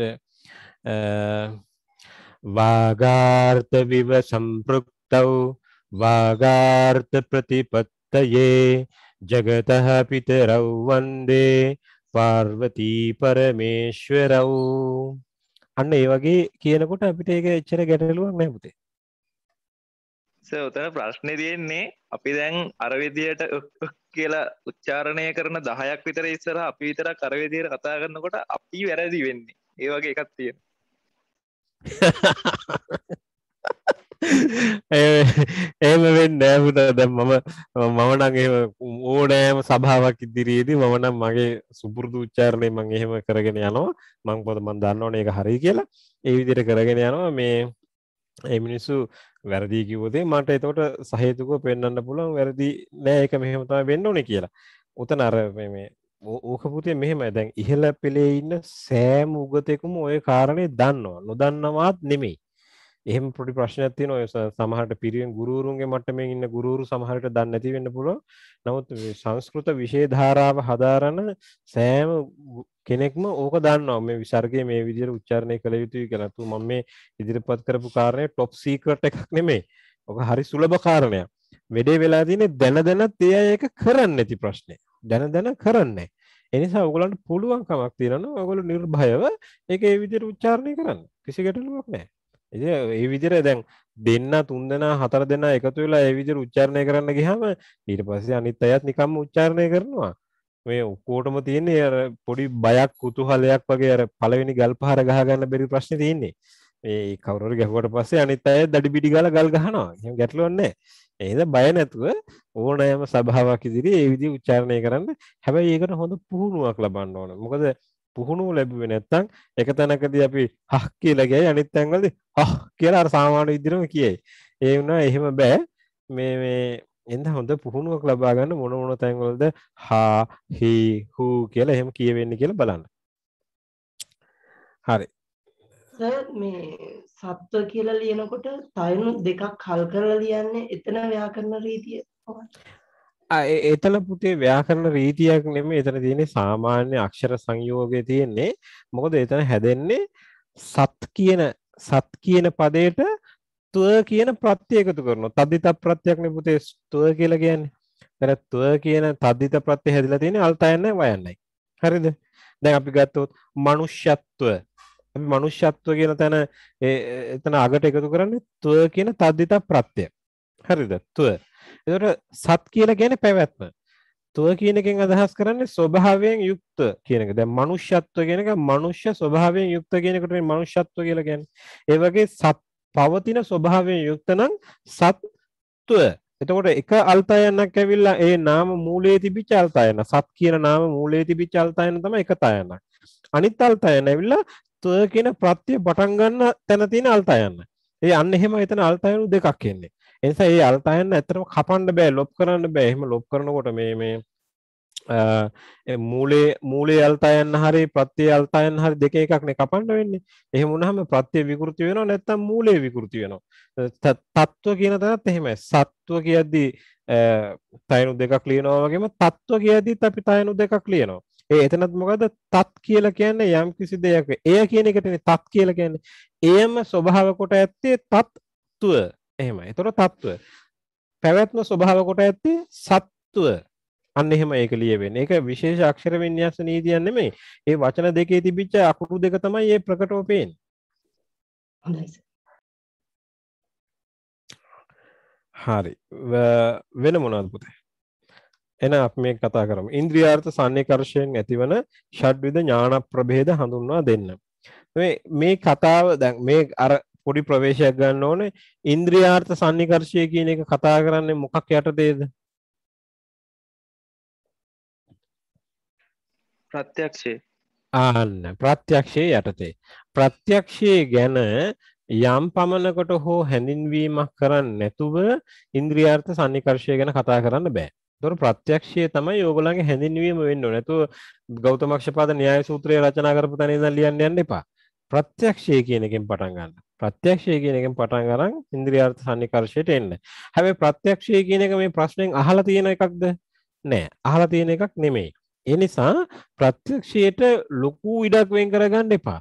ප්‍රත්‍යක්ෂයේ සිද්ධ වෙන්නේ මෙහෙමයි ඒකේ ප්‍රභේද මෙහෙමයි අර ඒ ඔක්කොම ලියන්න ඕනේ නමුත් ප්‍රත්‍යක්ෂය කියන්නේ මොකද්ද කියන එක ගැන පොඩි ඡේදයකින් පොඩියට ඉතාම කෙටියෙන් දීර්ඝ විස්තර නැතුව කියලා ඊට පස්සේ ඉන්ද්‍රියාර්ථ සන්නිකර්ෂ වලට අපි ප්‍රවේශයක් අරගන්න පුළුවන්. ඒතර ඉන්ද්‍රියාර්ථ සන්නිකර්ෂ ගත්තාම ඒකේ හයක් තියෙනවා. ඒ හය මතකද දැන් ඔය ළමයින්ට? ඔව් සර්. හරි ඉන්ද්‍රියාර්ථ සන්නිකර්ෂ ගැන කතා කරද්දි මං කිව්වා අර සංයෝග සහ මේ සමවාය කියන මේ සංකල්ප දෙක වෙන වෙනම හඳුනාගන්නට ඕන. එනිසා ඒ සංයෝග සමවාය පිළිබඳවත් පොඩ්ඩියට ලියන්ට සිද්ධ වෙනවා.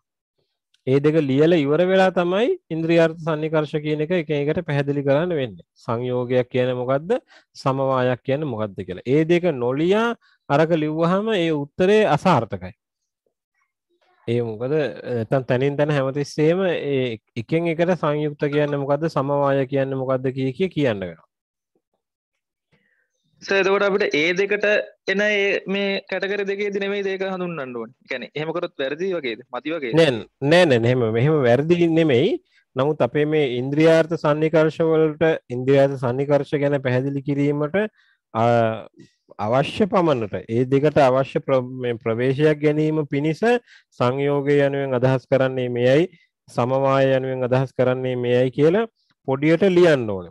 එහෙම ලිව්වහම තමයි අපිට පුළුවන් වෙන්නේ ඊළඟ තරට සංයෝග සංයෝග ඉන්ද්‍රියාර්ථ සන්නිකර්ෂය කියන්නේ මෙන්න මෙහෙම එකක් කියලා කියනකොට අපිට ඒක පැහැදිලි කරගන්න පහසුයි. අපි පොදුවේ මේ වචන දෙක කියලා දීලා ඉවරනේ තියෙන එක තැනකදී.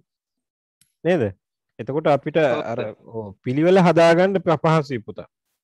නැත්තම් අපි සංයෝග සන්නිකර්ෂය කියන තැනම ඒක හරි දිගට විස්තර කරන් යනවා. ඊට පස්සේ අනිත් වලටත් ආපහු ඒ වගේ දිග විස්තරයක් කර කර ඉන්න වෙනවා. මේ සර් මේ ප්‍රශ්නේ කවුරු හරි යොමු කරත් දන්නේ මම පොඩ්ඩක් පරක් වෙලා ආවේ. සර් මේ දැන් මේ වගේ දැන් මේ න්‍යාය මේ ලකුණු 20ක් හම් වෙනවනේ සර් එක ප්‍රශ්නයකට. මේකදී සර් දැන් න්‍යාය තර්ක වගේ දේවල්වල අපිට අපි ශිෂ්‍යෝ විදියට අපිට ලොකු දෙයක් විස්තර කරන්න නෑ සර්. අපිට යම් යම් දෙයක් කරණයන් ක්‍රම රටාවක්නේ. සිස්ටම් එකක් වගේ එකක්නේ ඔව්. සර්ලට සමහරක්කට ගොඩක් දේවල් කියන්න තියෙන උතන. සර්ලයකේ ප්‍රවීණය විදියට තෝටස අපිට ලොකු දෙයක් කියන්න නෑ. ගැන පිටු ප්‍රමාණය අඩුවෙන් ලියන්න වෙන්නේ.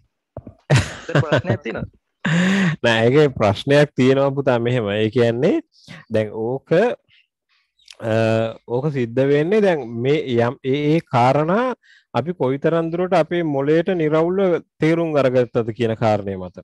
දැන් අපිට දැන් මෙහෙම හිතන්නකෝ ඊටාම ඊටාම සරල දෙයක්. අපි යමුකෝ ගිනි කූරකින් ගිනි පෙට්ටියකට ගහලා මේ ගින්දර පත්තු කරගන්නවා. හරිද? දැන් මේක කෙනෙකුට හිතන්නේ මේක හරි සරලයි. කෙනෙක් ඕක කෙනෙකුට ලියන්න පුළුවන් පුතා කොහොමද ගින්ද ගන්න ගිනි පෙට්ටියෙන් කිව්වම ගිනි පෙට්ටිය ඇරියා ගිනි කූර ගත්තා ගිනි පෙට්ටියේ පැත්තකට ගැහුවාම ගින්දර මතුවෙනවා. ඕක කියනකොට වාක්‍ය තුන හතරක් ඒ වාක්‍ය වාක්‍ය දෙකකින් තුනකින් ඕක ඉවරයි. නමුත් ඕකට ඡේදයක් ලියන්න ඕන. එතකොට මොකද වෙන්නේ? ඡේදය ලියනකොට අපි ඕක ලියනවා මෙන්න මෙහෙම. අ, ගිනි පෙට්ටිය යනු අ, හතරස් පෙට්ටියක්. එහි අ, ඇතුලේ ගිනි කූරු රඳවා ඇත. ගිනි පෙට්ටියේ දෙපැත්තේ වෙඩි බෙහෙත් ආලේපයක් ඇත. ගිනි කූරු වල හිසද හිස් හිස් මුදුනේද වෙඩි බෙහෙත් ආලේප කොට ඇත. මේ ගිනි කූරක හිස් මුදුනේ ඇති වෙඩි බෙහෙත් සහ ගිනි පෙට්ටියේ දෙපැත්තේ ආලේප කර ඇති වෙඩි බෙහෙත් එකිනෙකට සමාන ඒවා නොව එකිනෙකට ප්‍රතිවිරුද්ධ ගේ වෙඩි බෙහෙත්. මේ නිසා මේ වෙඩි බෙහෙත් වර්ග දෙක එකිනෙක එ- එකක් අනෙක මත ස්පර්ශ වීම නිසා අ, ගින්දර හට ගැනීමක් සිදු වෙනවා. මේ හේ- මේ මූලධර්මයේ පාදක කොටගෙන ගිනි පෙට්ටිය විවෘත කොට ගිනි කූරක් අරගෙන ඒ වෙඩි බෙහෙත් සමග ස්පර්ශ කිරීමෙන් ගින්දර නිෂ්පාදනය කොටගත හැක. ඕක කියද්දි පුතා ඡේදයක් ගිහිලා ඉවරයි. දැන් තේරුණාද ලියන විදිය? ඔව් සර් තේරුණා. ඉතින් ඒ- ඒකයි ඒක අර එහෙම තමයි ඒක ලියන්න ඕනේ. මේ මේ මේ වගේ ප්‍රශ්න වලට ලියන්න එහෙමයි අ, හරි. සාමාන්‍යයෙන් සර් යක් වගේ බලාපොරොත්තු වෙන දෙහෙම එකක් තියෙනවද නැද්ද? පිටු තුනක් විතර ලියන්න ඕනේ පුතේ එක ප්‍රශ්නයකට. එම්, හරි. ඊළඟට තර්ක සංග්‍රහයේ සහ න්‍යාය බිඳුවේ සම විෂමතා පිළිබඳ විමසීමක් කරන්න. මෙන්න මේක අපි මෙහෙම වෙනම සාකච්ඡා කරපු එකක් නෙමෙයි. මේක න්‍යාය බිඳුවත් කරාට පස්සේ කරන්න පුළුවන් දෙයක්. හැබැයි මම මම උපදෙස් දෙනවා සාමාන්‍යයෙන් මේ වගේ එකක් නම් නොලියා හිටියනම් හොඳයි කියලා. මොකද හේතුව මේ ප්‍රශ්න ටික සංකීර්ණ වැඩි මේ සංකීර්ණ වැඩිවීම නිසා පුතාලට ඒක අවශ්‍ය කරුණු ටික නොලියා ඉන්න හෝ අ- අවශ්‍යව ඉගෙන කොච්චර ලිව්වත් බලන පා- මේ කෙනාට අනුව මෙයා තව ඒවා ලියලා නෑනේ කියලා එහෙම හිතෙන්න ඉඩ තියෙනවා. මේ දෙකේ තියෙන සම විෂමතා ගැන මොකද සම විෂමතා කිව්වහම ප්‍රත්‍යක්ෂයේ පටන් ගන්න තැන ඉඳලාම මේ සම විෂමතා තියෙනවා. දැන් අනිත් එක තමයි මේ ප්‍රශ්නේ පොඩි පැහැදිලි නැති ගතියකුත් තියෙනවා පුතේ. ඒක මේ ප්‍රශ්නේ හදපු එකේ ප්‍රශ්නේ මොඩරේට් කරපු තැන පොඩි ගැටලුවක් තියෙන්නේ. මේ තර්ක සංග්‍රහය සහ න්‍යාය බිඳුවේ කියලා කිව්වහම මේ කතා කරන්නේ පොත් දෙකේ සම විෂමතාවද? අන්න එහෙම පොඩි ප්‍රශ්නයක් තියෙනවනේ. දැන් මේක මට වුණත් ඒක ඔලුවට එන්නේ නැහැ අතන. මේ කතා කරන්නේ පොත් දෙකේ සමය. ඒතකොට තර්ක සංග්‍රහයේ එක පරිච්ඡේදයයි තියෙන එක පරිච්ඡේදයකින් ඔක්කොම ලියලා තියෙනවා. හරිද? දැන් න්‍යාය බිඳුවේ පරිච්ඡේද තුනක් තියෙනවා. ප්‍රත්‍යක්ෂ ස්වාර්ථානුමාන සහ පරාර්ථානුමාන කියලා.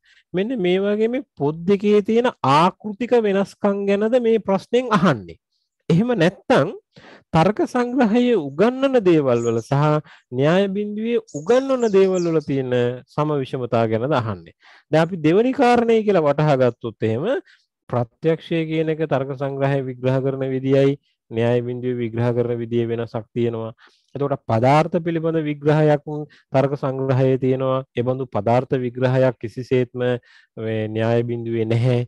ඉතින් මෙන්න මේ වගේ වි- ගොඩක් තියෙනවා එහෙම ලියාගෙන යන්න. මේ දෙකේ අතර වි- මේ ගොඩක් වෙනස්කම් තියෙනවා පෙ- ලියන. ඒතර ඕක කවදාකවත් මේ මේ සැටිස්ෆැක්ටරි ආන්සර් එකක්. ඒ කියන්නේ බොහොම මේ හොඳ උත්තරයක් ලියන්න පුළුවන් ප්‍රශ්නයක් නෙමෙයි.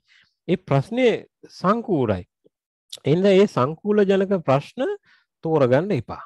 ඉතින් මොකද ඒ- ඒක මේ මේ ප්‍රශ්න පත්‍රයේ හදන තැනදීම සිද්ධ වෙච්ච වරදක්.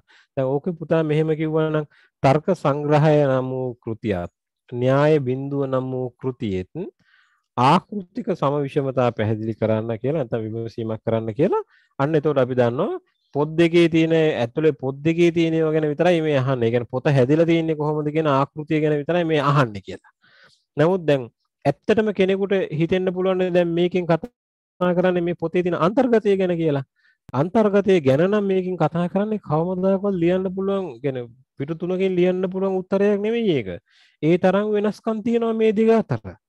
ඒ එහෙම එහෙම ගලපන්න පුළුවන් ඒව නෙමේ කෙනෙක් සමහර විට ඉතා සරල උත්තරයක් බලාපොරොත්තු වෙනවා වෙන්න පුළුවන්. දැන් ඒම අපිට ඇන්ටිසිපේට් කරන බෑන. ඒම අපිට මේ කල්තියා කියන්න බෑනේ මුදම් මේක මෙයා මෙහෙම එකක් වෙන්න ඇති මේ බලාපොරොත්තු වෙන්නේ කියලා අන්තිමට එහෙම එකක් නෙවෙයි නම් බලාපොරොත්තු උනේ. හරි අමාරුවක වැටෙනවනේ. ඉතින් ඒ වගේ වෙලාවකදී එහෙම පොඩ්ඩක් ප්‍රශ්න දිහා ਵਿਚාරපූර්වකව බලන්න මොකද ප්‍රශ්න ප්‍රශ්න පත්‍රය හදන්නෙත් මිනිසෙක්නේ දෙයියෙක් නෙමෙයිනේ. ඒ මිනිසයාගේ අතින් ඔය වගේ අඩුපාඩුකම් සිද්ධ වෙන්න පුළුවන් පුතා. මම මේ ප්‍රශ්නේ දකින්නේ ඒ විදිහට හදපු දුර්වල ප්‍රශ්නයක් විදිහට. ඉතින් ඒ වගේ අවස්ථාවලදී එහෙම ප්‍රශ්න තෝරගන්න එපා. ඕගොල්ලෝ කොහොම උත්තර ලිව්වත් ඒ උත්තරේ අවාසියට හිටින්න පුළුවන්. මොකද එයා බලාපොරොත්තු වෙන උත්තරේ නෙමෙයි නම් ඔගොල්ලෝ ලියලා තියෙන්නේ පුතා. ඒගොල්ලෝ බලාපොරොත්තු වෙච්ච මට්ටමින් ලියලත් නැත්නම් ඕගලන්ට ලකුණු නොලැබෙන්න පුළුවන් මතක තියාගන්න විභාගයක් කියන්නේ ලකුණු ලබා ගැනීම සඳහා කරන අරගලයක් ඕගොල්ලෝ මේ ප්‍රශ්න පත්‍රයේ තියෙන අමාරුම ප්‍රශ්න ටික තෝරගෙන ඒකට හොද්දටම ලිව්වට පස්සේ මූ මේ අමාරු මේවා ටිකනේ තෝරන් තියෙන්නේ. ඒ හින්දා මම මේ ලකුණු ටිකක් දීලා දාන්න ඕනේ කියලා. එහෙම ලකුණු දෙන්නේ පුතා. ඒ හින්දා අර එක දෙක තුන ප්‍රශ්න වලට ලකුණු ලැබෙන්නේ යම් පමණටද? හතරවෙනි ප්‍රශ්නට ලැබෙන්නේ ඒ ලකුණු ප්‍රමාණයම තමයි. එනිසා එහෙම ඒවා කරන්න යන්න එපා. පොඩ්ඩක් බුද්ධිමත්ව ප්‍රශ්න තෝරගන්න. හොඳේ? ඔව් අහන්න. ඔව් දැන්ස මේ තර්ක සංග්‍රහයේ න්‍යාය බින්දුව ඉස තියෙන මේ ඒ කියන්නේ දැන් එකට එකක් වෙනස් කාරණාවන් හැබැයි අපිට නිකන් තේරෙනව නේද? ඒක බලනකොට එතන ඒක හරි කියලා මේක බලනකොට එතන මේක හරි කියලා. අය ඒකට හේතුව පුතේ මේ මේ බ්‍රාහ්මණ තාර්කිකයෝ හිතලා තියෙන්නේ මොනවද යථාර්ථවාදී එළඹුමකින් හරිද? නමුත් නයි බෞද්ධ තාර්කිකයෝ හිතන්නේ යථාර්ථවාදී එළඹුමකින් නෙමෙයි. නමුත් අපේ රටේ මේ පොත් දෙකම උගන්නන අය ඉන්නේ යථාර්ථවාදී එළඹුමක. පොද අතිමහත් බහුතරයක් දෙනා මම දැකලා තියෙනවා. ඒගොල්ලෝ මේ බෞද්ධ තර්ක ශාස්ත්‍රය කියවන්න උත්සාහ කරන්නෙත් පුතා යථාර්ථවාදී තැනක ඉඳලා. යථාර්ථවාදී තැනක ඉඳන් න්‍යාය බිඳුව කියවන්න ගියොත් එහෙම පුතා න්‍යාය බිඳුවයි තර්ක සංග්‍රහය අතර වෙනසක් නැති තරම්. ඒ ඒ නිසා ඒ කියවන පදනම වෙනස් වෙන්න ඕනේ. ඒ කියවන පදනම වෙනස් වුනහම තමයි එකම වචනේ සමහරට දෙපැත්තට ගිහිලා තේරුම් දෙකකට එළියට එනවා. මොකද අර කියවන පදනම වෙනස් වෙනවා. දැන් ඕගලන්ට මම තරක සංග්‍රහය උගන්වනකොට ඒ ඉගැන්වුවේ යථාර්ථවාදී පදනමක ඉඳලා ඒ ඒ පදනම මත ඉඳගෙන. නමුත් දැන් මම න්‍යාය බිඳුව උගන්වනකොට ඕගලන්ට පැහැදිලි කරලා දෙන්නම්. ධර්මකීර්ති හාමුදුරුව යථාර්ථවාදී පදනමක හිටියේ නෑ. උන්වහන්සේ හිටියේ ප්‍රපංචවාදී පදනමක. ෆිනොමිනොලොජිකල් ඇස්පෙක්ට් එක තමයි උන්වහන්සේ හිටියේ. ඒ ප්‍රපංචවාදී පදනමේ ඉඳන් කියවනකොට ඒ කියන්නේ කොටින්ම කියනවා නම් දෙන්න පුටු දෙකක ඉන්නේ. දෙන්න පුටු දෙකක ඉඳගෙන එකම දෙයක් දිහා බලන්නේ. ඒ නිසා ප්‍රත්‍යක්ෂය කියන වචනේ කියනකොට අර තර්ක සංග්‍රහයේදී ඒකට දෙන තේරුමයි න්‍යාය බින්දුවේදී ඒකට දෙන තේරුමයි වෙනස් වෙනවා පුතේ. ඒ නිසා එහෙම මේ එහෙම එක වගේ වෙන්නේ නැහැ ඇයිසාර කැන මේ නිර්විකල්පක සවිකල්පක බේදය ඔව. ඉතින් නිර්විකල්පක පැදිලියම හොදර පේනද? ඒක බලන්නකොට නිර්විකල්පක කෙලකුව හමයි අරකේ සවිකල්පකයි කියන එකත් එක් තමයි ඒක පොඩ්ඩ මැච්චෙන්නේ ඕ ඇත්තරම මෙහෙමන නිර්විකල්ප සවිකල්ප කියලා බේදයක් මේ කවුද? යථාර්ථවාදීන් එහෙමනතන් බ්‍රාහ්මණ තාරකිකයන් පිළිගන්නවා. පිළිගන්නවා විතරක් මේ ඔවුන් ඒ දෙකම ප්‍රත්‍යක්ෂයේ ප්‍රබේද හැටියට හඳුනාගන්න දොට බෞද්ධයන්ට එනකොට බෞද්ධයෝ මේ නිර්විකල්ප නැත්තං නිර්විකල්ප ප්‍රත්‍යක්ෂය විතරයි ප්‍රත්‍යක්ෂ හැටිට පිළිගන්නේ. විකල්ප ප්‍රත්‍යක්ෂ ප්‍රත්‍යක්ෂයක් ලෙස පිළිගන්නේ කොටින් ප්‍රත්‍යක්ෂ ප්‍රබේදයක් කියන කතාව යහට කියදෙන් ප්‍රත්‍යක්ෂයක් ලෙස එය පිළිගන්න එයට විකල්පයක් ආරෝපණය කළෝති. එතකොට එතකොට බෞද්ධයෝ සෑහෙන වෙන තැනකට යනවා. දැන් ඒ කියන්නේ විකල්ප විකල්පයක් සහිතවීම ප්‍රත්‍යක්ෂයක් ලෙස පිළිගන්නවා නම් බ්‍රාහ්මණයෝ විකල්පයක් සහිතවීම ප්‍රත්‍යක්ෂයක් ලෙස බෞද්ධයෝ පිළිගන්නෙම නැත්නම් එතකොටම පුතා මේ දෙගොල්ලෝ ප්‍රත්‍යක්ෂය කියන එක තේරුම් ගත්ත විදිය වෙනසක් තියෙනවා. මන්න අයිද ඔතන තියෙන විකල්ප කියන වචනේ මේ අර්ථ ඒගොල්ලෝ දෙගොල්ලෝ දෙකක් විදිහට අරන් තියෙන නේද? නෑනෑ මෙතැන්ද එහෙම දෙකක් විදිර ගන්න පුතේ මෙතන දෙගොල්ලොම ගන්න විකල්ප කියන වචනෙන් ගන්නේ යම් භාෂාත්මක සංකේතයක් ආරෝපණය කිරීම කියන කාරණය. භාෂාත්මක සංකේතයක් ආරෝපණය කිරීම කියන කාරණය තැනදී නෙමෙයි මේ දෙගොල්ලෝ වෙනස් වෙන්නේ. මේ දෙගොල්ලෝ වෙනස් වෙන්නේ නිවැරදි ඥානයක් යනුවෙන් අදහස් කරන්නේ කුමක්ද?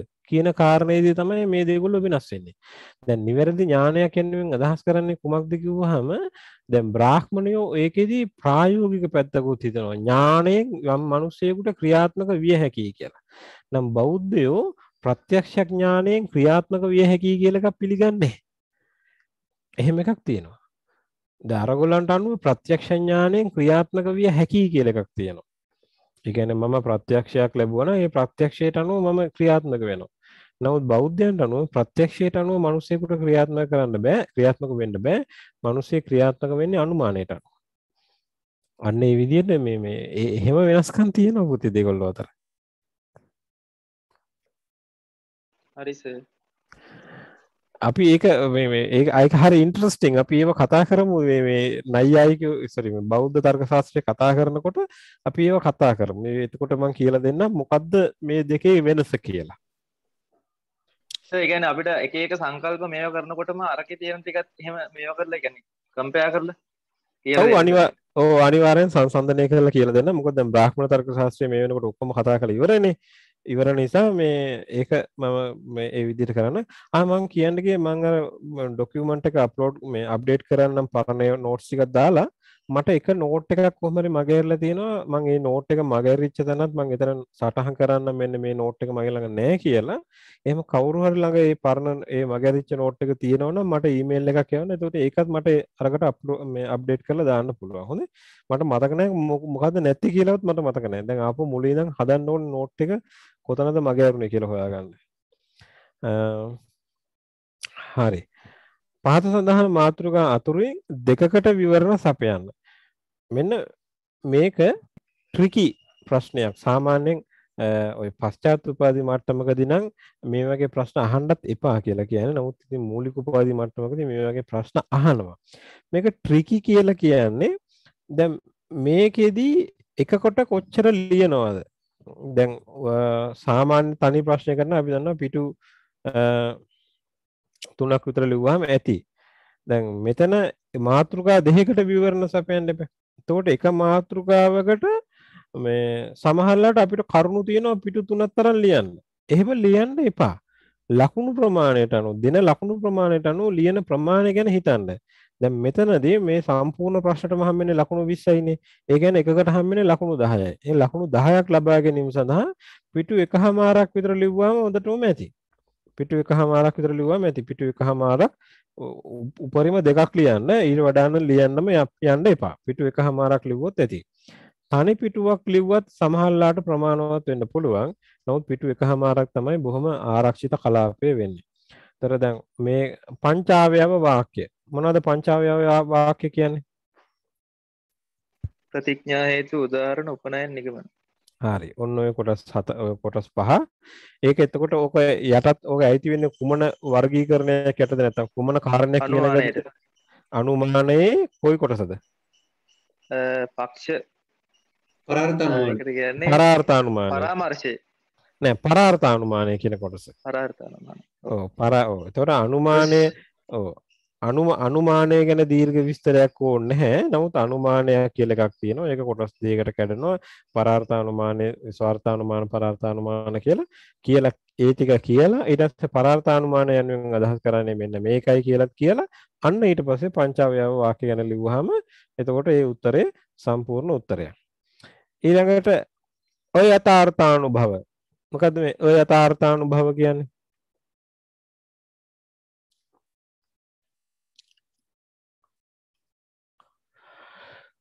බ්‍රම ඔව් බ්‍රම කියන එක වැරදි ඥානෙ තියෙන දේ වැරදියට ලැබෙනවා. ඒතර ඔය යථාර්ථානුභවයට අයිති ප්‍රභේද කීයක් තියෙනවද?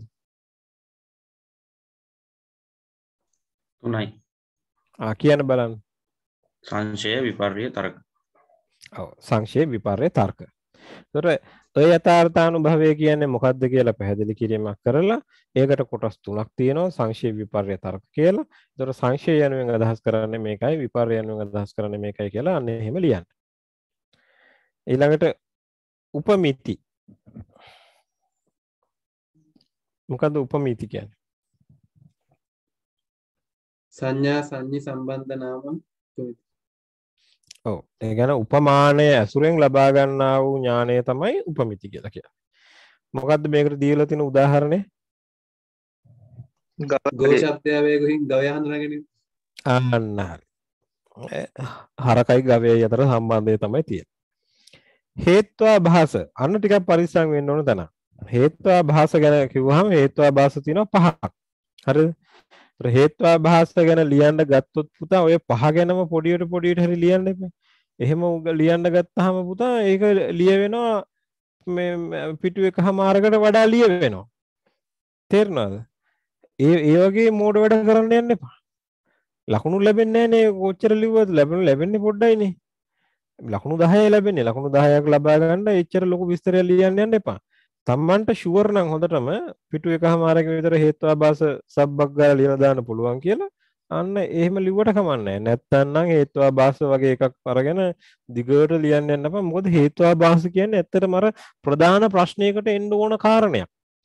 ප්‍රධාන ප්‍රශ්නයක් හැටියට දුන්නොත් හේතුවාභාස ගැන ලියන්න අන්න පිටු තුනක් වගේ දීර්ඝ විස්තරයක් ඒකට ලියන්න පුළුවන්. හේතුවාභාස ගැන. ඒකයි මං කිව්වේ ප්‍රශ්න තෝරා ගැනීමේදී හරි බුද්ධිමත්ව ඒ කටයුත්ත කරන්න ඕනේ කියලා. හරි. එතකොට? ඔව් කියන්න. දැන්සද අපි අනිත් තුනෙන් එකකට විතරයි දන්න. අනිත් එකට අපට ලියාගන්න බෑ කියලගේමකෝ ඒත් බාස හ්ම්. කෙන එක තෝරගන්න අවස්ථාවක් අවුත්සීම හ්ම්. මේ දැන් සත් ප්‍රතිපස්ස කියලා ගත්තට පස ඒක තියෙන ඒවටත් උත්තර ලියන්න ඕනකෙන ඒවටත් උදාහරණ දා ලෙවත් ස්තර කරන්න ඕන. ඔගේ පොඩියක් ඒක තමයි පුතේ ට්‍රිකි කියලා මම කිව්වේ. ඒක ට්‍රිකි කියලා කියන්නේ දැන් අන්තිමේදී ඕක උත්තර පත්තරේ අතර ගියාට පස්සේ ඒ මිනිස්සයා බලන විදිහටනේ බලන්නේ. දැන් එයා එයා හිතුවොත් එහෙම මෙයා මේ හැම එකකටම අඩුම තරමේ පොඩි උදාහරණයක් හරි දැම්මනම් තමයි හොඳ. දැම්මේ නැත්තම් මේක හරි අසම්පූර්ණයිනේ කියලා. ඕවට පුතේ විශ්ව සාධාරණ නියම නෑනේ. ඕවා වෙන සබ්ජෙක්ටිව්නේ ඒක පුද්ගල බද්ධ කාරණානේ. දැන් කෙනෙක් ඒක දිහා අර ඊටාම සානුකම්පිතව බලලා මේක මේ මේ ලකුණු 10ක උත්තරයක්නේ මේක මේ පොඩ්ඩක් කෙටියෙන් ලියලා තිබ්බනම් ඇතිනේ කියලා ඉවරලා දෙන්නත් ඉඩ තියෙනවා. නමුත් කෙනෙකුට අර විදිහට හිතෙන්න ඉඩ තියෙනවා. ඉතින් අපි අවදානමක් ගන්න ඇයිද කියන ප්‍රශ්නේ මට තියෙන්නේ. ඉතින් අර ඔබ වහන්සේ කියන වගේ ප්‍රශ්න පත්තර බලන්නකොට නිර්ණායක හෙමකුත් නැද එහෙම නිර්ණායක තිබුණා නම් මාත් හරි අගය කරනවා. නමුත් එහෙම එකක් අත්‍යවර නැහැ. ඒව නිර්ණායක නෑ අවසානයේදී ඒව තිබ්බනම් හරි හොඳයි කියලා මටත් හිතෙනවා. මේ ඉතින් අ, ඒකයි වැඩේ. ඉතින් ඒක අ, එහෙම වෙන්නේ නැහැ. එහෙම නිර්ණායක සහිතව එහෙම වෙන්නේ නැහැ. මොකද එහෙමනම් ඇත්තටම ප්‍රශ්න පත්‍රයේ හදන තැන මේ වගේ ප්‍රශ්නයක හේත්වාභාස කියලා එකක් දාන්න බෑ. එහෙම නිර්ණායක තියෙනවා නම්. මොකද එතකොට මේගොල්ලෝ දන්නවා හේත්වාභාස වගේ එකක් මේ වගේ පොඩි එකකට ලියන්න බෑ. ඒක හරි ලොකු උත්තරයක්. එහෙනම් මේ මේ වගේ එකකට හේත්වාභාස වගේ මාතෘකාවක් දාන්න හොඳ නැහැ කියලා ප්‍රශ්න පත්‍රයේ හදනකොටම පුතා ඒක හැදෙන්න ඕනේ. මේ මේ තියෙනවනේ මේ මොඩරේට් කිරීමේ ලොකු අඩුපාඩුකම් තියෙනවා කියලා පුතාලට පේනවා ඇතිනේ මේ ප්‍රශ්න පත්‍ර හදනකොට. දැන් මේ වගේ දේවල් බෝඩ් එකට දාන්න ඇතස මම දන්නේ පුතා ඒ ගැන කියන්න. ඒ ගැන කියන මම කිසිම දෙයක් දන්නේ. දැන් මේ වගේ අඩුපාඩුකම් හිටින්නේ නැහැ පුතා සාමාන්‍ය පෙළ හෝ උසස් පෙළ ප්‍රශ්න පත්‍රවල හිටින්නේ නැහැ. මොකද ඒවා මාර විදියට හොයලා හොයලා හොයලා දාන්නේ ඒවා දැන් ඒත් ඉතින් උසස් පෙළ මේ මේ පාලි සංස්කෘත ප්‍රශ්න පත්‍රවල කොහොමද දන්නේ අනිත් ප්‍රශ්න පත්‍රවල නම් හොඳට කෙරෙනවා. මොකද ඒවා කෙරෙන්නේ ඒවැ අඩුපාඩුකමක් තිබ්බොතින් පහුවෙන්ද පත්තරේ පළ වෙනවා බග් ගාලා. මෙන්න මේවා ප්‍රශ්න පත්‍රය හදලා තියෙන්නේ මේකේ අරයම වැරදි මේව වැරදි ඉවරයි ඉතින් ප්‍රශ්න පත්‍රය හදපු කෙනාගේ පළු වැරලා ලියනවා. නමුත් මේ ප්‍රාචීන උපාධි වේවා භික්ෂුන් වහන්සේලාට උගන්වන කිසිම විභාගයක් හෝ වේවා එහෙම එහෙම විග්‍රහ කිරීමක් එහෙම පසු විවරණයක් කවුරු හරි කෙනෙක් ඒවට විරුද්ධව පත්තරවලට ලිවීමක් මේ මොකක්වත් වෙන්නේ නැහැ නේ පුතා. ඒ වෙන්නේ නැති නිසා මේ ප්‍රශ්න පත්‍ර හදන අයත් දන්නවා ඕ ඕන එකක් හැදුවේ. ඒ අය ඕක මොකද කවුරුත් ඔය වැරදුනත් හොයන්නවත් කෙනෙක් නැහැ. කියන තත්වයට පත් වෙලා තියෙනවා. ඒක හරි කනගාටුදායකයි ඒක. හාමුදුරුවන්ට වෙන වැඩ තියෙනවනිස හොයන් ශිෂ්‍යෝන් අසාධාරණ පැහැදිලි අසාධාරණයක් පුතේ. පැහැ- කියන්නේ පැහැදිලිවම ගිහි ළමයින්ට දෙන අධ්‍යාපනයයි පැවිදි භික්ෂුන් වහන්සේලාට දෙන අධ්‍යාපනය ගත්තාම පුතා ගිහි ළමයින්ට දෙන අධ්‍යාපනය භික්ෂුන් වහන්සේලාට දෙන අධ්‍යාපනයට වඩා 50 ගුණයක් 60 ගුණයක් ගුණාත්මකයි. ගුණාත්මකයි. භික්ෂුන් වහන්සේලාට දෙන අධ්‍යාපනයේ ගුණාත්මක බව සෑහෙන පිරිහෙනවා. මොකද හේතුව ඔය කියන පසු විපරම කරන්නේ නැති නිසා. දැන් මෙහෙම හිතන්නකො පුතේ සරලවම ලො- ලොකු හාමුදුරුවරු ඉන්නෝනේ සෑම පොඩි හාමුදුරු කෙනෙකුටම. ඒ ලොකු හාමුදුරුවරුන්ගෙන් කීයෙන් කී දෙනාද තමන්ගේ පොඩි හාමුදුරුව මොනවද ඉගෙන ගන්න කියලා හොයලා බලන අය ඉන්නේ. මොනවද ඉගෙන ගන්න? අද ගිහින් මොනවද ඉගෙන ගත්තේ? මොනවද ලිව්වේ? කූපෙන්නන්න සටහන් පොත. එහෙම කියලා හොයලා බලන ලොකු හාමුදුරුවරු කීයෙන් කී දෙනාද ඉන්නේ. හරිද? අනිත් පැත්තෙන් ගන්නකො පුතා ගිහි ළමයි ගැන.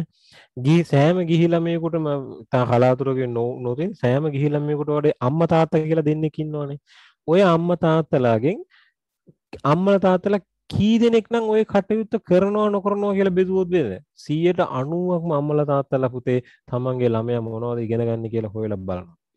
හොයලා බලනවා මොනවද ඉගෙන ගත්තේ මොනවද ලිව්වේ කෝ පෙන්නන්න කෝ මොනවද ලිව්වේ සටහන් පොත පෙන්නන්න අද මොනවද පාඩම් කරේ කොහෙද ගියේ ඉස්කෝලේ යනවා කියලා වෙන කොහෙද ගියද? විදිහට හොයනවා අම්මලා තාත්තලා හොයනවා නමුත් ලොකු හාමුදුරුවෝ එහෙම හොයන්නේ නෑනේ පුතා සමහර ලොකු හාමුදුරුවෝ මම දන්නවා පොඩි හාමුදුරුවෝ උඹට ඕන ඉගෙන ගන්නේ නැත්තම් නිකන් ඉඳහන් කියලා අතහැරලා දාලා නිකන් ඉන්නවා සමහර ලොකු හාමුදුරුවෝ තියෙන සර මගේ එකා කියන එක නැති හින්දා නේද? ගෙදර මිනිස්සුන්ට තියෙන මගේ එකා කියලා.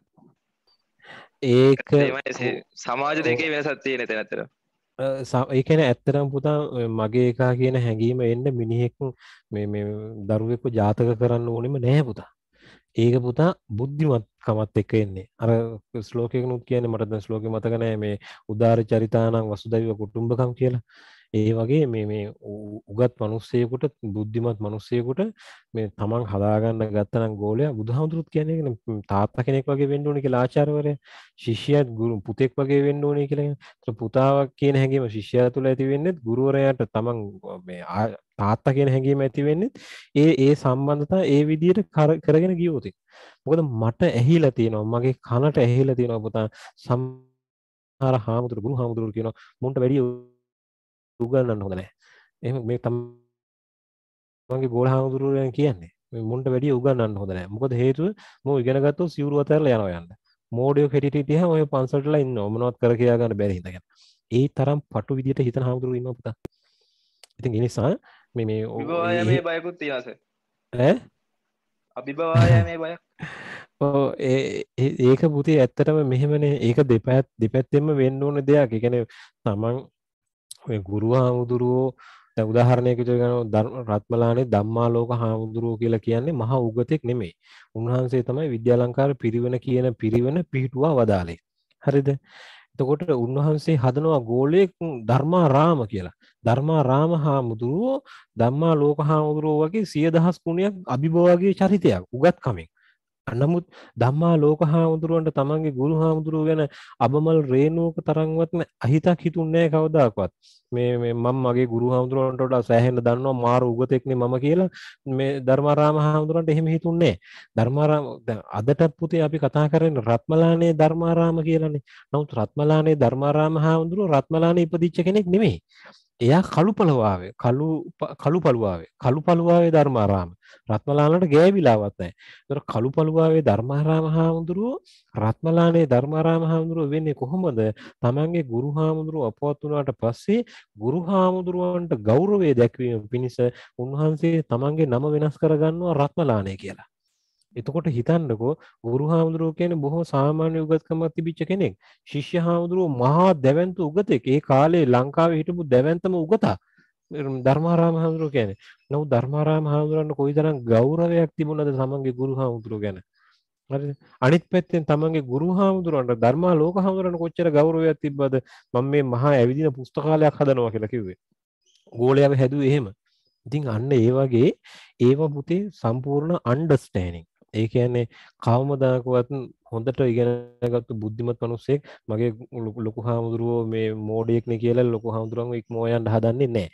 අනිත් පැත්තෙන් ලොකු හාමුදුරුවෝ ශිෂ්‍ය හාමුදුරුවන්ව උගන්වන්නේ අධ්‍යාපනයෙන් සහ ගුණධර්ම වලින් කියන දෙකෙන්ම පොහොසත් වීමට නම් ඒ මිනිස්සයා කවමදාකවත් බය වෙන්න ඕනේ මෙයා කවදා හරි මාව ඉක්මව යයි කියලා. ඉතින් ඔක්කොම ඇත්තටම එක්තරා ආකාරයකට අපි හදාගත්තු දේවල් පුතා. ඉතින් ඒවා අපි පුංචි පුංචි දේවල් නමුත් ඒවා හරිගස්ස ගන්න පුළුවන් නම් අපිට මේ බෞද්ධ අධ්‍යාපනය ගොඩනගා ගන්නවා කියන එක හරි පහසු වැඩක්. සත්‍ය කතාවක්. ඒ කියන්නේ මේ ප්‍රාචීන අධ්‍යාපනයට හාමුදුරුවෝ කොටි ගහලා මේ මේ විදිහට වෙන්නේද හරියට අධ්‍යාපනය චුට්ට පිළිවෙලම හරියට නෑද මේ වගේ ලොකු ප්‍රශ්න එකක් තියෙනවා. මේ ඔව් ඉතින් ඒම් ගැටලුත් තියෙනවා. අපි මේ ඊළඟ තව ප්‍රශ්න පත්‍රයක් සාකච්ඡා කරනවා නැත්නම් දැනට මෙතනින් නතර කරමුද? දැනට මේ කියන්නේ මම මං හිතනවා ප්‍රශ්න පත්‍රයකදී වෙන්න ඕන කාරණය පිළිබඳ සමස්ත විස්තරය මම දැන් දීලානේ තියෙන්නේ. දැන් අනිත් ඒවා ගැන වුණත් එහෙම අදහසක් ඇති කරගන්න පුළුවන්. ඉතින් ඕගලන්ට පුළුවන් පුතා ඊළඟ ප්‍රශ්න පත්‍ර ටික බලලා ඕගලන්ට ප්‍රායෝගිකව මතුවෙනවා නම් තව ගැටලුවක්. ඒ කියන්නේ සර් මෙන්න මෙහෙම ප්‍රශ්නයක් අහලා තියෙනවා. ඒ ප්‍රශ්නට අපි උත්තර ලියන්නේ කොහොමද? මට ඒක හිතා ගන්න බෑ. අන්න ඒ වගේ ඒවා තියෙනවා නම් මට යොමු කරන්න පුතා. මට SMS එකක් හරි ඊමේල් එකක් හරි WhatsApp message එකක් හරි එහෙම දාලා යොමු කරන්න. එතකොට මම මේ විදිහට ඊළඟ සැරේ උගන්වනකොට දැන් අපිට කාලේ ගණිති ප්‍රශ්නකුත් තියෙනවනේ. ඊළඟ සැරේ මම න්‍යාය බින්දු උගන්වන්නම්. ඒ උගන්වන්න පටන් ගන්න පටන් ගත්තාම ඒ අතරතුරේ අර වගේ ප්‍රශ්න වලටත් මම උත්තර දෙන්නම් පුතා. මෙන්න මෙහෙම එකක් මගෙන් අහලා තිබුණා. ඔව්. දැන් සර් තර්ක සංග්‍රහයේ මේ තියෙන්නේ සර් අර තේරුම් ගන්න පොඩ්ඩක් අපහසු හැබැයි සර් කියලා දෙනකොට පොඩ්ඩක් තේරුම් යන වචන. ඔව්. නිකන් ගැඹුරු වචන කියලා හැඳින්නුවොත් සර් එක කොහොම අර්ථකථනය කරගන්නේද කියලා දන්නේ මේ ඒකින්ද මං කියන අපිට තේරෙන විදිහට කියන ගැඹුරු වචන. මේ අන්න ඒ වගේ ඒවා පාවිච්චි කරන එක හොඳයි නේ සර්. සරලම ඒවට වැඩිය නිකන් අර පුංචි ඒවා වගේ. ඔව් ඔව්. ඒක හරි හරි. ඒ පොඩි ඒ පොඩි පණ්ඩිතමානී ගතියක් තිබ්බට කමන්නේ මොකද මේක අවසානයේදී අපි මේක ලියන්නේ මේ අපේ පණ්ඩිතකම පෙන්වන්නත් එක්කනේ. පණ්ඩිත හඳුරන්නේ කොච්චර වුණත්. හැබැයි ඉතින් පොඩි ප්‍රශ්නයකට තියෙන්නේ ඒ වචන ලියනකොට පුතා ඒ වචන තේරුම් අරගෙන ලියන්න ඕන. දැන් උදාහරණයක් විදිහට ඒ වරකාකොට සිලරතන හඳුරන්නේ පොතේ තියෙන වචනයක් අමූර්ත කියලා අමු ඔය නිතර පාවිච්චි වෙන වචනයක්. අමූර්ත. මොකද්ද මේ අමූර්ත කියන්නේ?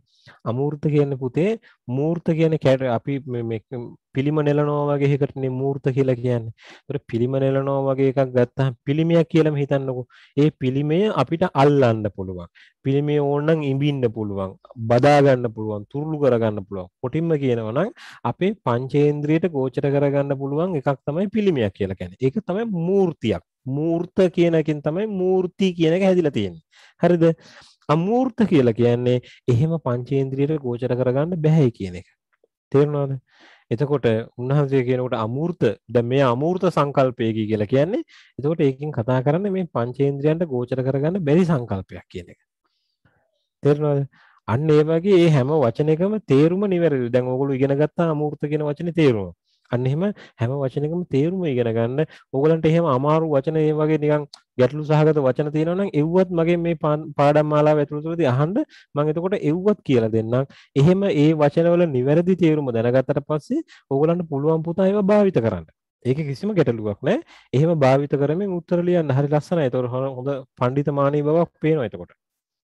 සර් මේ කියන්නේ දැන් අපි විද්‍යමානත්වය කෙරකුවට පස්සේ සර් විද්‍යමානත්වයෙන් මේ පංචේන්ද්‍රියම ගන්නවාද නැත්තම් අපි සාමාන්‍යයෙන් ඇහැට කනට හරි එහෙම තියනවද සර් ඔය විද්‍යමාන කියන එකෙන් පංචේන්ද්‍රියම ගන්නවා පුතේ. දැන් පං දැන් උදාහරණයක් විදිහට ගත්තොත් එහෙම විස බීජ. විස බීජ කියන ඒවා ඇහැට පේන්නේ නැහැ කනට ඇහෙන්නේ නැහැ. හැබැයි අපි විද්‍යමානයි කියලා ඒවා තේරුම් ගන්නේ කොහොමද? තේරුම් ගන්නේ අපේ කාය ඉන්ද්‍රියට. ඒ කියන්නේ හම කියන එකට. හම කියන එකේ තුවාලයක් ඇදුනහම ඒ තුවාලේ වන වෙනවා. අන්න එතකොට ඒ වන වීමේ ක්‍රියාවලිය අපිට දැනෙනවා. ඒ ඔස්සේ තමයි අපි තීරණය කරන්නේ විස බීජ කියලා දෙයක් තියෙනවා කියලා. ඒතර විස බීජ වල පැවැත්ම අවසානයේදී දැනලා තියෙන්නේ මගේ තුවාලෙට. ඒතර විද්‍යමානත්වය කියන එක ওই පංචේන්ද්‍රියටම අදාළයි පුතේ. ඇහැට කනට විතරක් නෙමෙයි. හරිස එතකොට සර් හාමුදුරු කියන වචනේ දෙවිදියකට ආවයි කිය කියන්නේ ඒක අදහස තියෙන එන්නේ විදියට මේ ඒක මම දෙන්නෙක්ගෙන් ඇහුවට පස්සේ දෙන්නගෙන් උත්තර දෙකක් ආවේ. එක්කෙනෙක් කිව්වා හද මුදු රුව තමයි හාමුදුරු කියලා වෙන්නේ. තව එක්කෙනෙක් කිව්වා ස්වාමිදරු කියන එක කියලා. ඒක සර් පොඩ්ඩක් මට කියලා දෙන්න ඕමද? ස්වාමි දරු කියන එකේ ස්වාමි කියන එක සංස්කෘතයි දරු කියන එක මොකද්ද කියන එක අනේ වන්දා මේ ස්වාමි දරු කියන එක නම් පුතේ පරණ සම්භාව්‍ය වචනයක් නෙමෙයි. ඒක ඇවිල්ලා මෙතන මේ පුංචි අ, මේ මේ නිල නෝන හෙලි දරව්වක් කරන්නද මම.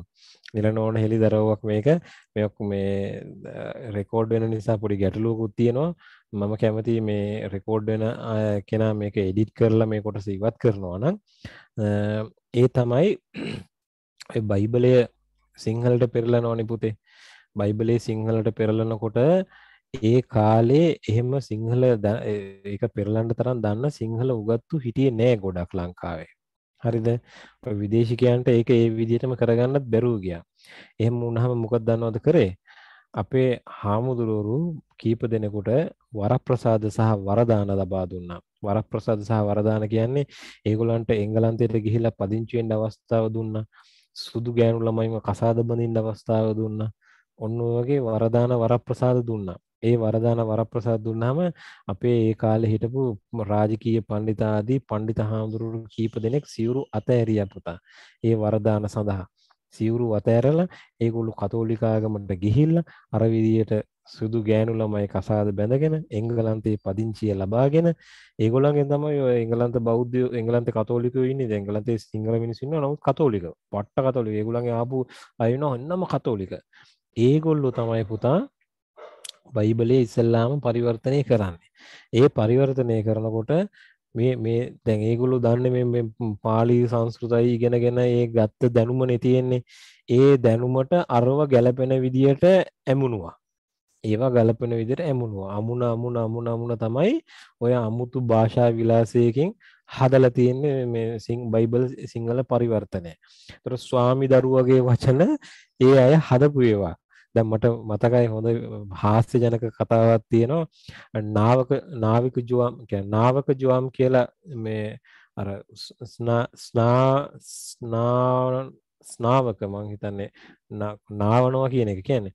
එනා ඒ ජුවම් කියලා ඉන්නවා. එයාගේ එයා ගැන කතා කරද්දී එයාගේ ප්‍රකාශයක් තියෙනවා. ඒ ප්‍රකාශය තියෙනවා බයිබලේ තියෙනවා මේක. ඔබට අඳන දෙකක් ඇති විට එක අන්දනයක් අනිකාට දෙන්න කියලා.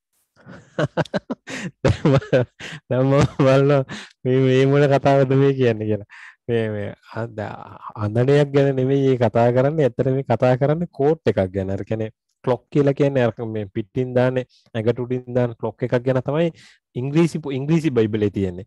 සිංහල බයිබලේට ඒක පරිවර්තනය කරලා තියෙන්නේ අඳනය කියලා. දැන් අඳනය කියන එක එහෙම එකක් නෙමෙයි ඇත්තටම. නමුත් මේ පරිවර්තනය කරපු අය කරලා තියෙන්නේ එහෙම. ඒගොල්ලෝ දන්නේ අඳනය. ඒගොල්ලෝ හිතුවා මේ ක්ලොක් එක කියන්නේ අඳනය වගේ එකක් කියලා. ඒ ක්ලොක් එකක් දැකලා නැහැ කවදාවත්. ඒගොල්ලෝ අඳනය කියලා පරිවර්තනය කරා. අන්න ඒ වගේ ඔය බයිබලේ තියෙනවා පුළුවන් තරම් බෞද්ධ සාහිත්‍යයෙන් ගත්ත වචන ඒ වචන ඔට්ටෝටම හේතුව අර සිවුරු අතහැරලා ගිය හාමුදුරුවෝ ටික තමයි ওই වැඩේ කරේ. හරිද? ඉතින් ඒ ස්වාමි දරු කියන්නේ එහෙම හැදිච්ච එකක්. ස්වාමි දරු කියන එකෙන් හාමුදුරු කියන එක හැදුනා කියලා කියන වණන් පුතේ අපට පිළිගන්න සිද්ධ වෙනවා. ඔය හාමුදුරු කියන වචනය හැදිලා තියෙන්නේ ගොඩක් මෑත කාලයේදී කියන එක. අන්න ඒක තමයි පොඩ්ඩක් හිතා ගන්න අමාරු. මොකද හේතුව බයිබලයේ පරිවර්තනය කරන්න පටන් ගන්නේ 17 18 සියවස් වලනේ. ඒතර 17 18 සියවස් වලද හාමුදුරු කියන වචනේ අපිට එන්නේ. එහෙමනම් අර කතාවේ පොඩි ඇත්තක් තියෙනවා ස්වාමිදරු කියන එකෙන් හාමුදුරු කියන එක හැදුන කියන එක. නමුත් මේ හාමුදුරු කියන වචනෙට ඊට වඩා ඊට වඩා ඉතිහාසයක් තියෙනවා නම් මම ඉතිහාසයක් තියෙන්න ඕන. මොකද හාමුදුරු කියන වචනේ අපිට ඒක වචනේ පරිවර්තනය මේ ඒක වචනෙන් වර්ණ ගන්නත් බෑනේ. ඒක වචනේ දැන් මදුරුවා වගේ තමයි හාමුදුරුවා කියන එකත් නමුත් මදුරුවා මදුරුවෝ කිව්වා වගේ හාමුදුරුවා හාමුදුරුවෝ කියලා වර්ණ ගන්න බෑ අපිට ඒක. ඉතින් මේ අන්න ඒ නිසා ඒකට ඊට වඩා වෙනස් විග්‍රහයක් තියෙන්න ඕනේ. හිමි කියන එක නම් ස්වාමි කියන එකෙන් තමයි බිඳෙන්නේ පුතේ. ඒතර ස්වාමි හිමි කියන එක හරි. හාමුදුරු කියන එක ගැන මට තව පොඩ්ඩක් බලන්න ඕනේ සහ හිතන්න ඕනේ ස්වාමි දරු කියන එක හාමුදුරු කියලා කැඩුනාද කියන එක එක ටිකක් ගැටලු සහගත. අර දෙවනියට කියපු උත්තරේ නම් ඒක නම් ගැලපෙන්නේ නැහැ පුතේ. ඒක නෛරුක්තික අර්ථකථනයක් නෙමෙයි. මේ කියන්නේ හද මොකද්ද මන් දෙකක් කිව්වේ? ඒක ගැලපෙන්නේ නැහැ. ඒව ඇවිල්ලා අර මේ අර දැන් හදාගන්න නිකන් ආදරය කිව්වහම අයන්නෙන් කියන්නේ මේකයි දයන්නෙන් මේකයි කියලා අපි හදාගන්නේ අන්න ඒ වගේ එක එක හදාගත්තු විග්‍රහයක් වගේ තමයි මට නම් ඒක පේන්නේ ඒක කිසිම ශාස්ත්‍රානුකූල බවක් නැහැ. ඔව් සර් ඒ එතන සර් මේ වචන දෙකක විතර තියෙනවා පොඩි අවුලක්. ඒ කියන්නේ වාග් විද්‍යාත්මකව එහෙම පෙරලිච්ච නෑ වගේ හිතන එක. ඔව් එහෙම පෙරලෙන්න විදියක් නෑ. ඔව් ඒ රූප කියනක රූ කියල වගේ රුව රූ කියල වගේ ඇවිල්ල තියෙන එවුණට මේ අනිත්තේව පොඩි අවුලක් තියෙන ඔව් එනිසා ඒක ටිකක් ගන්න අමාරුයි. නමුත් අරක ගැන මන් තව පොඩ්ඩක් හිතන්නම් පුතේ. මක මම ඕකේ හාම් ඕ කියන්න. මේ සර් බුත්සරණය එහෙමත් ස්වාමිදරු කියන වචනය හම්බ වෙනවනේ දෙකෙන ගොඩක් පරණ ආන්න. ඔය තියෙන්නේ උත්තරයක්. ස්වාමි ස්වාමි දරුවානෝ කියලා හම්බ වෙනවානේ අපිට බුත්සරණේදී බුදුහාමුදුරු ගැන කතා කරද්දී ඔය කියද තමයි මටත් මතක් වුණේ බොහෝමත්ම පිං. ඔය කියද තමයි මට මතක් අර්ථය කොහොමද? ඈ? බුදුහාමුදුරු ගැන කිය අර්ථය කොහොමද?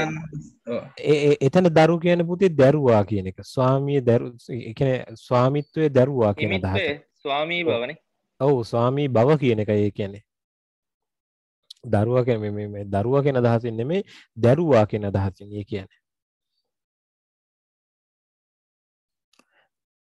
ස්වාමි දරුවානෝ කියලා ඒ කිව්වේ හරිනේ ඉතින් ඔය බුත්සරණේ තිබිච්ච වචන තමයි අරගොල්ලෝ ගෙහුවේ බයිබලයට අනිත් අතට.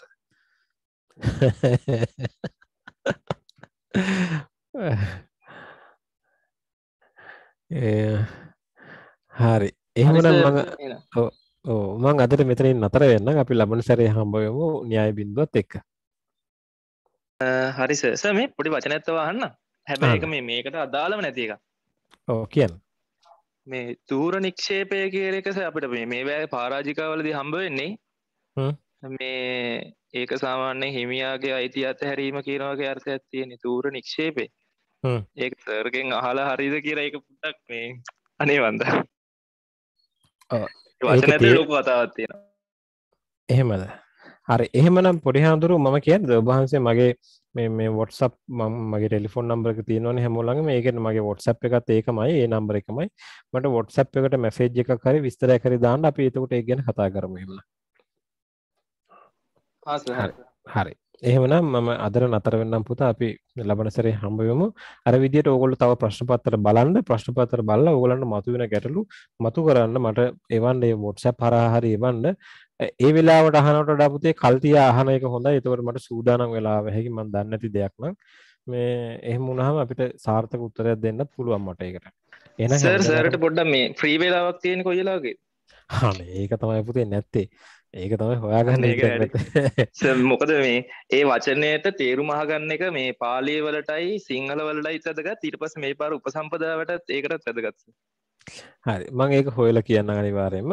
මේ මට අර විදිහට මේ මැසේජ් එකක් දාලා තියන්නකෝ WhatsApp එකේ. එතකොට මට එතකොට ඒකටම උත්තරේ තියලා දාන්න පුළුවන්. සර්. හරි. එහෙමනම් මම දැන් නතර වෙන්න. හැමදෙනාටම තෙරුවන් සරණයි. සේන සටහන් ටික දානවනේ හරි මම දාන්න මට අර එකක් මගේ අරිච්ච එකක් තියෙනවා. ඒක කවුරු හරි කෙනෙක් බලලා මට ආපහු එවන්න. එතකොට මට අප්ලෝඩ් කර හැකියි. තිරුවන් සරණයි. හරි තෙරුවන් සරණයි.